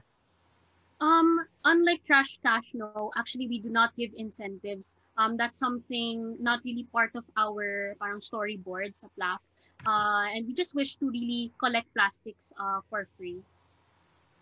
Kasi yung fruit talaga ng Envi is to encourage no yung ating mga ano hindi pa aware sa environmental um, let's say mga stewardship and then yung mga e-, eco lifestyle but at the same time parang same yan with climate change di ba ang ginagawa ng mga climate advocates is to ano uh, influence or siguro encourage na mag-change yung mga climate ano natin um, climate change denier so siguro it's a better din na magkaroon tayo let's say ng mga incentives kung makita niyo yung possibility na magkaganon kasi parang for me ano yung incentives kaya ng mga ibang people na parang for me, oh, tapon ko na lang sa basura, unlike nahuhugasan ko pa siya para i-donate siya, di ba? So sometimes baka makagawa tayo ng something programs for them or kahit sobrang incentives lang. Let's say sa isang network, kapag nagbigay sila doon, meron sila mga sabihin ko na yan, like let's say Globe, mga points, di ba? Gcash points, mga ganun. So siguro, you can also uh, check if meron ganung partnership. Kasi before, may parang partnership kami with the Globe na sa tree planting nila since meron silang parang G-forest something. So siguro po, kada join ng mga participants, binibigyan sila ng mga points doon sa kanilang globe points. So ayan. Tapos second lang no, since sabi mo nga po, meron ka ding mga siguro target mo yung mga funders or let's say yung mga ano uh, construction firm. So meron ka bang ano siguro next time po no, suggestion ko lang. Pwede ka magkaroon ng comparison between eco lumber tapos yung lumber talaga sa Philippines. So take note mga kapatid na yung uh, DNR po is not all about protection lang. We also promote production ng mga lumbers natin. So let's say itong eco brick na to or eco sorry, eco lumber po, makakapag-produce tayo let's say in one day ganitong ano siya ganitong amount versus yung sa lumber talaga let's say yung mga uh, other lumbers na ginagamit natin for construction, 3 years pa yung aabutin niya. So para may comparison ka lang din. At the same time gusto ko rin sana ma-check kung ano yung difference if lightweight ba siya compared dun sa ano sa lumber para mas makuha mo yung market ba ng mga funders mo na. Okay? Tapos, ayun, kasi let's say yung lumber kasi uh, nakalagay dito na ano siya, before mo siya ikat, kailangan pa ng mga permits sa inyo, hindi na masyado siguro hassle. No? So siguro may comparison konti sa price and at the same time, papakita natin na yung ano nga, yung eco lumber is a better choice naman. Okay? So ito pa, ngayong pandemic po, kumusta yung collection nyo compared dun sa pre-pandemic na? um, talagang masasabi namin, we didn't expect that we will be able to collect a lot of plastic in comparison to pre-pandemic. Kasi nasa isip natin, ah, pag pandemic, mas mahirap mag-collect. But after uh, after a few months, nakapag-adjust kami, we even collected more than. And ngayon, umabot na kami sa 100 tons of plastic waste collected. So, um, I think one talaga is yung online shopping kasi na kapag, in a way, yes, it has um, given problem. But at the same time, because of that, yun yung um, kung paano kung uh, paano kami nakapag uh, collect ng mas madaming plastic. It is a bad problem definitely, but I think that's one of the reasons kung bakit itong pandemya mas dumami pa yung collected plastics. Thank you so much Ma'am Ali and congratulations so for that ano po wonderful presentation. Thank and now I get I I guess now let's move on to ano to soulmate. Okay. All right. So, um hi Ma'am Melody. Hi! Hi! Hi, ma'am. So, di po, Bukashi Pinoy Composting po, partner din po yan ng Gulay Nihan Project po. Mm-hmm. Ito po ay being ano, management ng ating mga SK sa Novaliches uh, Bayan proper. Novaliches mm-hmm. proper. So, ayun po, kaya medyo familiar po ako sa, ano, sa inyong um, project po. So, mm-hmm. siguro yung question ko lang is all about yung mga, uh, kung ito ba na, na ating programa po ay welcome din sa mga low income earners. Kasi di ba, parang meron tayong i-cash out Mm-hmm. no? para yes. to buy some yeah. So, yes. paano yun, ma'am? Meron ba kayong parang intervention or let's say programs for low income earners na gusto rin talaga mag mag-participate sa inyong ano po, inyong project? Mm-hmm. Oo. Um, actually, hindi yung yung Soilmate, it's not just for those people na gusto magpa-kolekta. You can also start composting on your own, you just buy the bucket and the brand, then pwede kang mag-compose. So wala ka doon babayaran kung hindi yung basic kit lang. So yun yung uh, I would say provision namin sa mga low income earners. And at the same time, meron din kami yung parang mag-start ka muna for three months. So hindi ka muna yung one time big time na mag magsa-subscribe doon sa app just like what I did na one year ako talaga nag-subscribe. Maybe you can just try it out So yun yung dalawa naming um, options for those who who are not capable of subscribing ano. Mm-mm. So yun siya. Um siguro maybe i-highlight ko na lang din Ver, Vermon ano na yung sa Soilmate app din kasi nag-earn din kami ng mga incentives. So meron kami tinatawag na compost credits wherein the subscriber, every bucket na you fill, you will earn compost credits tatlong ways mo siya pwedeng ma-redeem. One, you can have your compost for your own consumption. Kung meron kang garden, pwede kang mag-redeem ng compost mo. Second, you can donate the compost na na-earn mo sa mga partner communities natin. And third, you can also get some gulay bags coming from the the produce of our beneficiaries. So, ganun din siya. Um, wala kaming wala kaming binibigay na incentive bukod doon sa tatlo na 'yon. So, I hope um, it will also promote a story of healing and promote a story of regeneration uh, sa mga subscribers namin sa Soilmate. Right. Ma'am, how about yung sa collection, ma'am? Every time no na i-pick up yun, may bayad po ba? Tama po ba? No, yung subscription na mismo na yon incorporated na dun yung collection fees. Nandun na siya, all in na siya. Wala ka nang poproblemahin. Uh, uh, you just get the bucket, you fill it up, then mag magpapaschedule ka, then kokolektahin na sa'yo, bibigyan ka naman ulit ng empty bucket. So all in na siya, wala ka nang problemahin.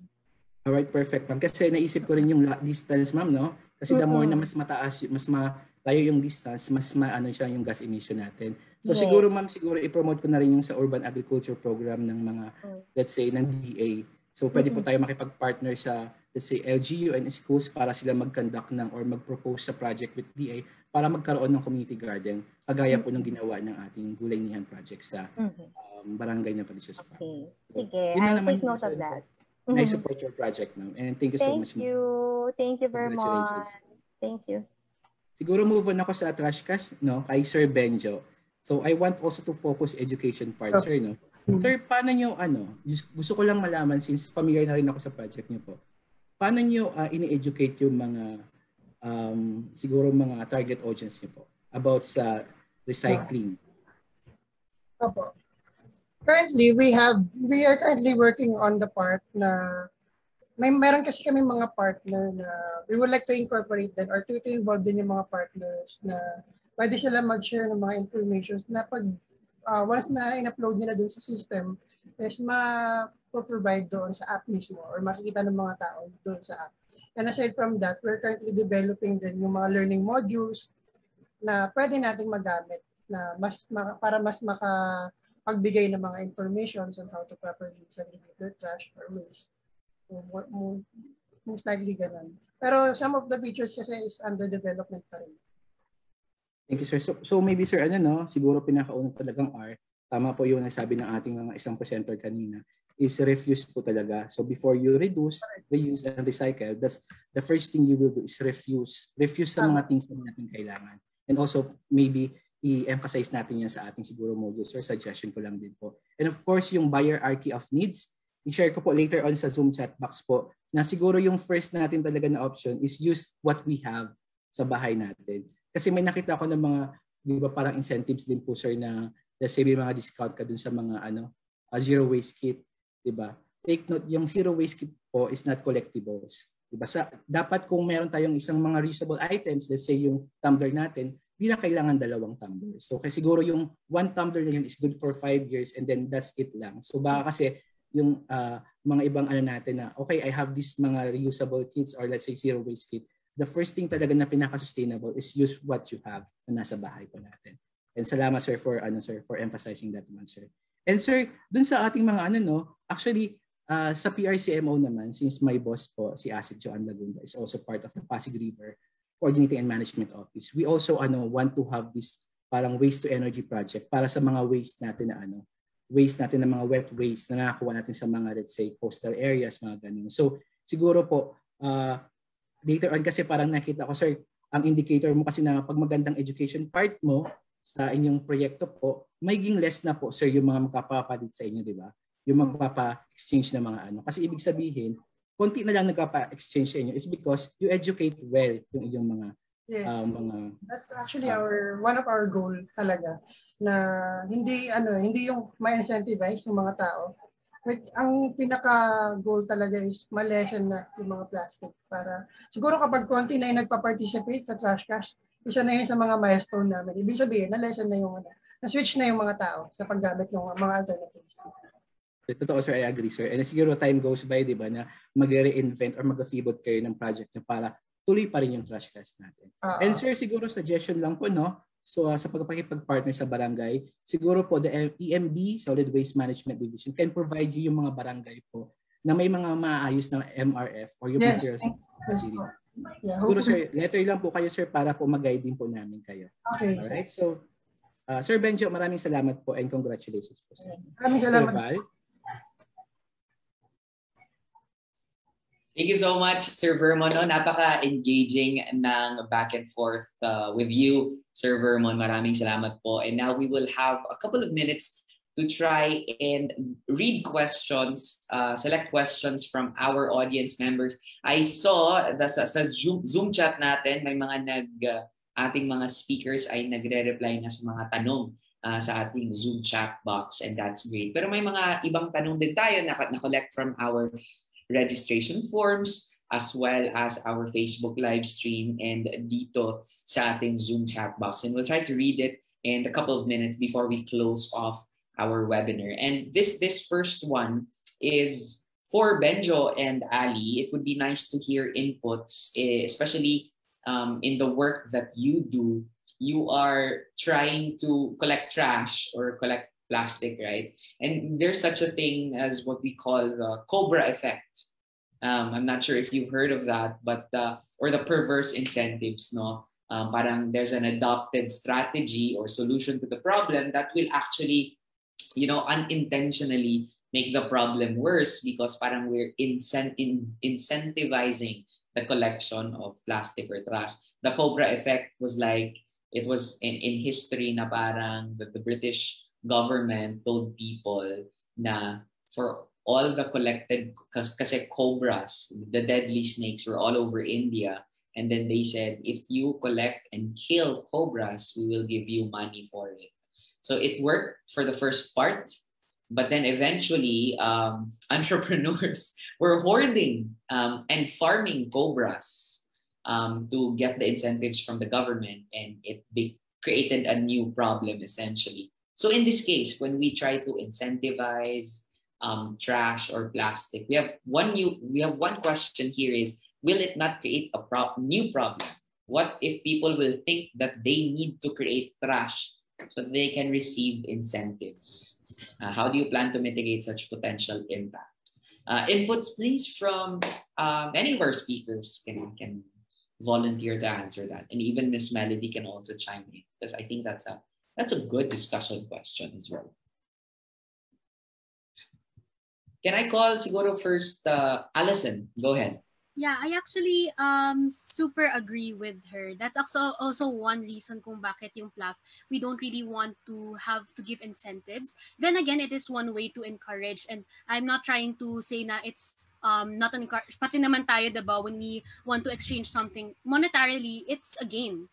But for the PLAF, I think we don't want to dwell on that um, aspect of incentivizing people kasi we feel nga it's an encouragement for people to um, to just keep collecting plastic, to keep using plastics. Ayaw namin mag-build yung mindset na okay lang mag-build, mag-build ka lang ng plastics, mag uh, bili ka ng plastics, um, consume more plastics. Kasi at the end of the day, ma- ma-exchange naman siya eh.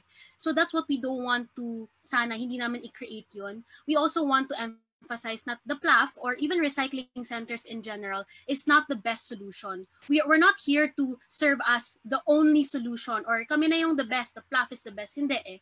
Kasi refusing nga is again key to call attention of our po- policymakers or even companies who produce plastics. That's one way also to um, become part of a solution. But recycling centers is not the the optimal uh, the optimal yeah the optimal uh, optimal solution to the plastic crisis.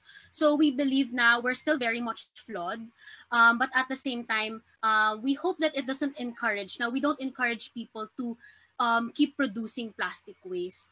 And uh, yeah, as you've mentioned, nga, it's a very good discussion. Um, also, I think maybe the Trash Cash PH can really enlighten us more of their perspective on that since they more uh, focus on that incentivize. Thank you. Sorry, naka. Uh, Sir Benjo, yeah, your inputs, please. Thank you for that, Alison. Yeah, I actually agree with Ms. Allison. Yung incentive kasi is not uh, the solution for for reducing plastic waste. Actually, the solution is to educate people talaga and actually to refuse plastic.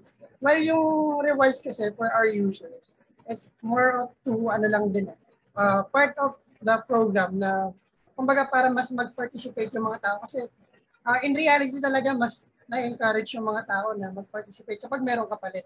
Though, in regards naman doon sa mag-iipon lang sila ng plastic para may rewards, yung points naman na naiipon ng mga users, hindi naman ganun kalaki din kumpara sa binibili nilang mga plastic. Para, kumbaga parang, bakit, kumbaga pag gumastos ka ng mga items na mga, may mga plastic packaging, kumbaga mas mahal mo siyang bibilhin kumpara dun sa mga may earn mong points.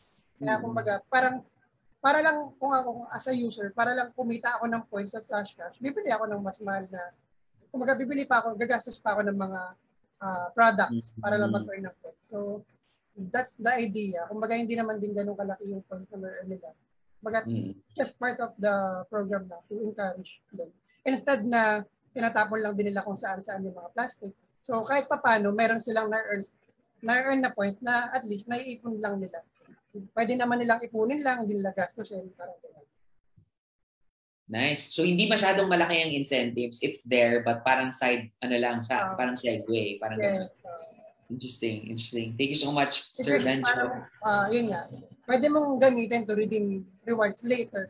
Pwede kang mag-ipon ng mag-ipon.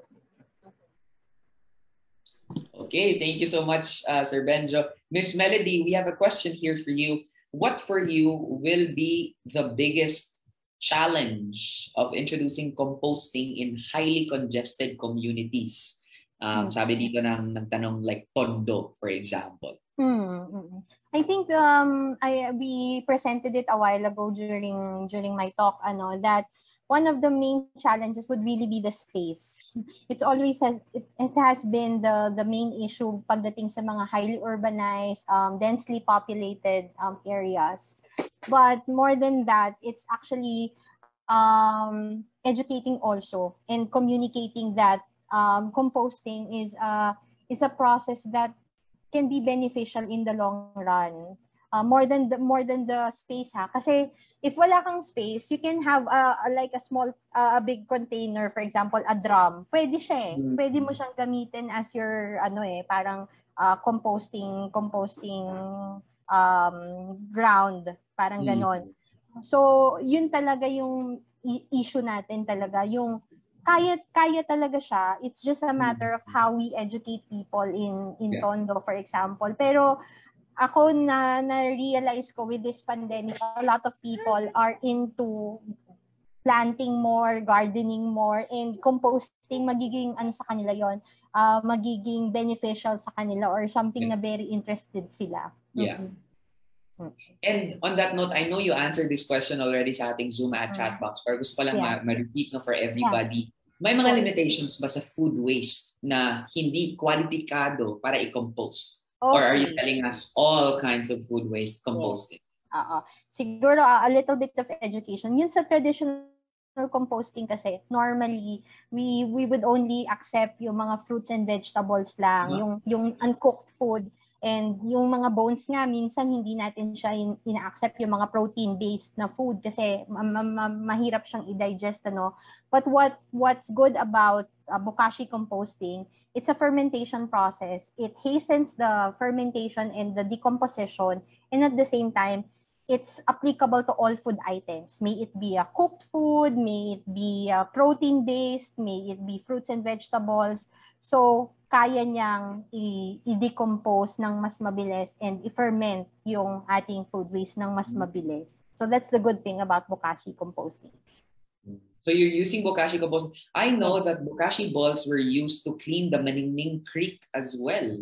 Yes. Um, yan yung system nila na ginamit, bokashi. Yes. Even for ano, for Yeah. Pasig River, I think they are they use also bokashi balls before. Um in other parts of the Philippines, ano na rin naman siya. Very common naman din siyang ginagamit. Pero for composting, talagang ngayon siya talaga nagbo-boom kasi nga mabilis, walang amoy, tapos all food, walang ano, wala kang segregation pang gagawin for for it. Thank you so much, Miss Melody. Ang dami kong natutunan. Sana ma- may mga natutunan. na- I'm sure may natututunan din ng ating mga participants. This is for Ali, um, for PLAF. Uh, do you accept eco bricks? May nagtanong. Uh, what will be the effects if some of the plastic wastes in eco bricks have residual waste? Ayun. So, alam na, I, I'm, I'm sure, uh, maybe I missed this, but to repeat na lang for uh, some of our audiences. All right. Um, actually, we do accept eco bricks. Um, the problem sometimes is when we look into the eco brick, yun nga, may dumi siya. So what we do is we have to take them out ulit. So it parang, it's it's weird eh, kasi people put an effort to put it in the brick, the bottle, and then if it's dirty, tatanggalin rin namin to, just to clean it. So we really recommend um, the people, the drop uh, drop offs to just really make sure that what you put inside the brick, the bottle is clean. Or if you want um, less hassle also is to just really segregate bottles. You don't need to make them into eco bricks. Um, kasi for the PLAF, when we see it also na yung sa loob is an LDPE, online shopping siya, viable kasi siya sa recycling namin. So it would just parang waste the time that you you've efforted to just put it in the brick. Right. So might as well keep it simple lang and just really make sure they are clean from any residue. It's like magiging added work na siya, no? Yeah. mm-mm. Oo. Ma- may tanong dito, one final one. Uh, how can we engage and convince families, and maybe PLAF is already doing this, I'm not sure, in coastal areas specifically, to maintain clean and green marine life? Maybe you can share that with us, Ali. Okay. Um, I think for now we've been partnering with over 150 um, cities and collection points. And what we want right now is we focus on the metro. But for this year, our face is also looking into provinces since sila naman ang malapit sa ating mga oceans. So we want to also partner with that and also hopefully encourage to have a drop-off point also in their area. I think there's a, also a question earlier about a drop-off point in Visayas. As of now, we do have um, two drop-off points, one in um, Baliran, if I'm not mistaken, and also in Bacolod. So we're starting konti na talaga mag-grow ang aming collection points and drop-off points. Ayan, maraming salamat, Ali. Thank you so much to our speakers. I had really fun discussing and trying to really break down some interesting discussion points that have been brought up as well uh, in our registration forms, in our Facebook live stream, and over here at the Zoom chat box. Maraming salamat, especially also to our panel of reactors for that engaging exchange as well. Ma'am Delia, Sir Jay, and, Sir Vermon. Um, discussions are still continuing over at the Zoom chat box, and we really encourage that as well. You can still continue to ask questions and connect with our speakers if you have any more questions. As we near the end of this webinar, no, we would like to share our certificates of participation. Uh, certificates of uh, acknowledgement and thanks and recognition to our speakers for being here and uh, allow me to read the citation. And the Department of Environment and Natural Resources Environmental Management Bureau presents this certificate of recognition to Miss Alison Audrey Villacruz Tan, Miss Melody Melorite Rake, Mr. Benjo Rivera Vidal for sharing their expertise in the webinar hashtag Tech to Protect Green Apps for Sustainable Living in support of the International Youth Day and the thrust of the Bureau. Given this 24th day of August 2021, signed by Ms. Karen Ann Pacpaco, OIC Chief of E EEIB EMB, and Engineer Visminda Osorio, Assistant Director of the Environmental Management Bureau. Can we please give our speakers uh, our digital applauses? Click the applause reaction dyan sa inyong mga Zooms uh, para makita natin, para maramdaman din ng ating mga uh, mga speakers ang inyong pasasalamat at uh, gratitude for sharing their time and expertise.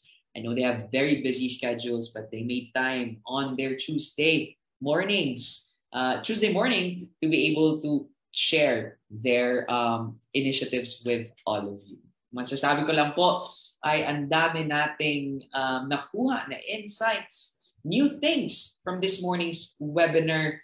Uh, di na po kailangan natin, di na po kailangan hindi na po natin kailangan mag-lunch. Kasi punong-puno na po ng impormasyon ng ating mga not only ang ating mga brains but also our hearts as well. This this new um, passion to to really continue pursuing a more sustainable lifestyle in the wake of climate crisis and environmental degradation. Ayun, our participants are giving their thanks are giving our messages of appreciation sa ating chat box. Maraming maraming salamat po sa inyo and I hope our speakers uh, will be able to accept these words of gratitude.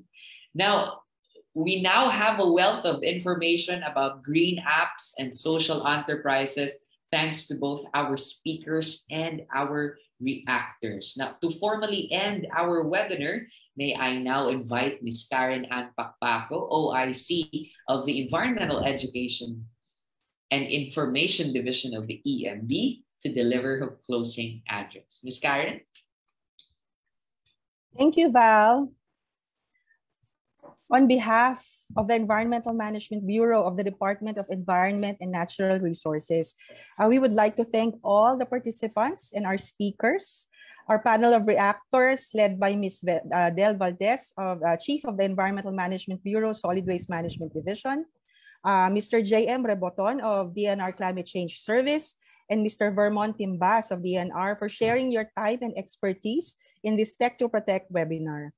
Communicating our programs through the social media platform has been challenging, but EMB is up to the challenge. That's why we keep on engaging our youth through youth leaders such as Miss Allison Tan of the PLAF, uh, Miss Melody Melo Wright from WWF, and Mr. Benjo Rivera Vidal from Cash Cash PH, who shared various advocacies from improper disposal of waste affecting marine life, food waste, and the value of trash because we want to we want to hear you and for you to hear us who could better inspire and engage our youth than successful committed individuals which we are very thankful that we're given the opportunity to gather in today's very informative webinar. Very inspiring for emb to be surrounded with such passion and enthusiasm from our youth participants. It fuels our creativity and allows us to connect with all of you and eventually strengthen your participation to do your share for the environment. What we are sharing with you are practical and sustainable lifestyle options that immediately you can start applying to your day-to-day -day activities. Let us be reminded that caring for the environment is a shared responsibility. EMB cannot do it alone. We need your ideas, your passion, and commitment to make this planet a better place to live in. So muli, maraming salamat po sa inyong lahat hanggang sa susunod nating pagsasama-sama para sa mas malinis, malusog at ligtas na kapaligiran, isang makakalikasang araw sa ating lahat. Maraming salamat, Ms. Karen. Keyword there is shared responsibility.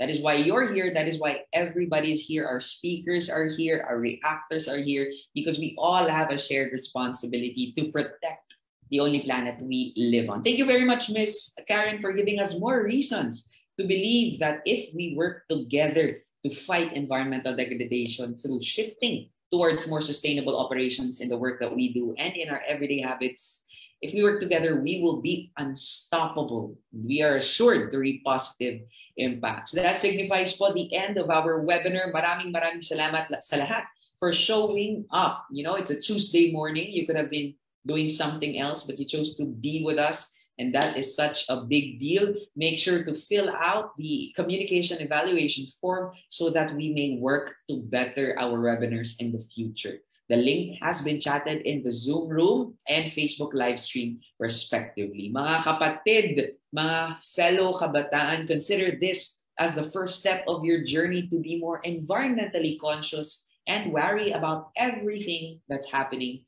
around you. We may have reached the end of this webinar, but this is only just the beginning of our desire to be strong advocates and on-ground volunteers for climate action, environmental sustainability, and biodiversity conservation, among others. Let's celebrate the International Youth Month together. Sama-samang pagkilos, sama-samang paghilom, ikaw, ako, tayo, ang kalikasan.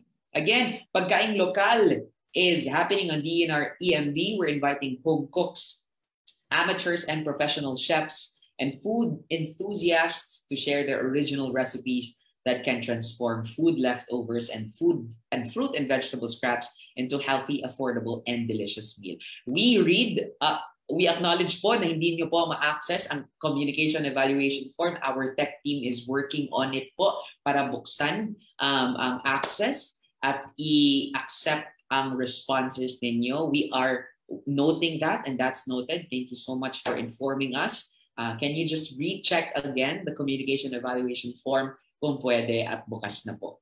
Ayan, this is our shared mission. So we would love if you could continue to share uh, our posts from the EMB Facebook page. I will never get tired of saying this as we close. No, we only have one planet. There is no planet B. And we owe it to ourselves, our community, and to the generations that will come after us to give them the planet worth living in. Because at the end of the day, So many human lives are at stake. Tayo, mga Pilipino, and our their future is in our hands. My name is Val Vestil. Wala pa rin pong jowa, wala pang soulmate, baka naman. Thank you once again for being here in the hashtag Tech to Protect webinar organized by DNR EMB. Stay safe, follow safety protocol, get vaccinated, drink water. Tell them you love them before it's too late. God bless everyone. See you around. Ingat. Bye.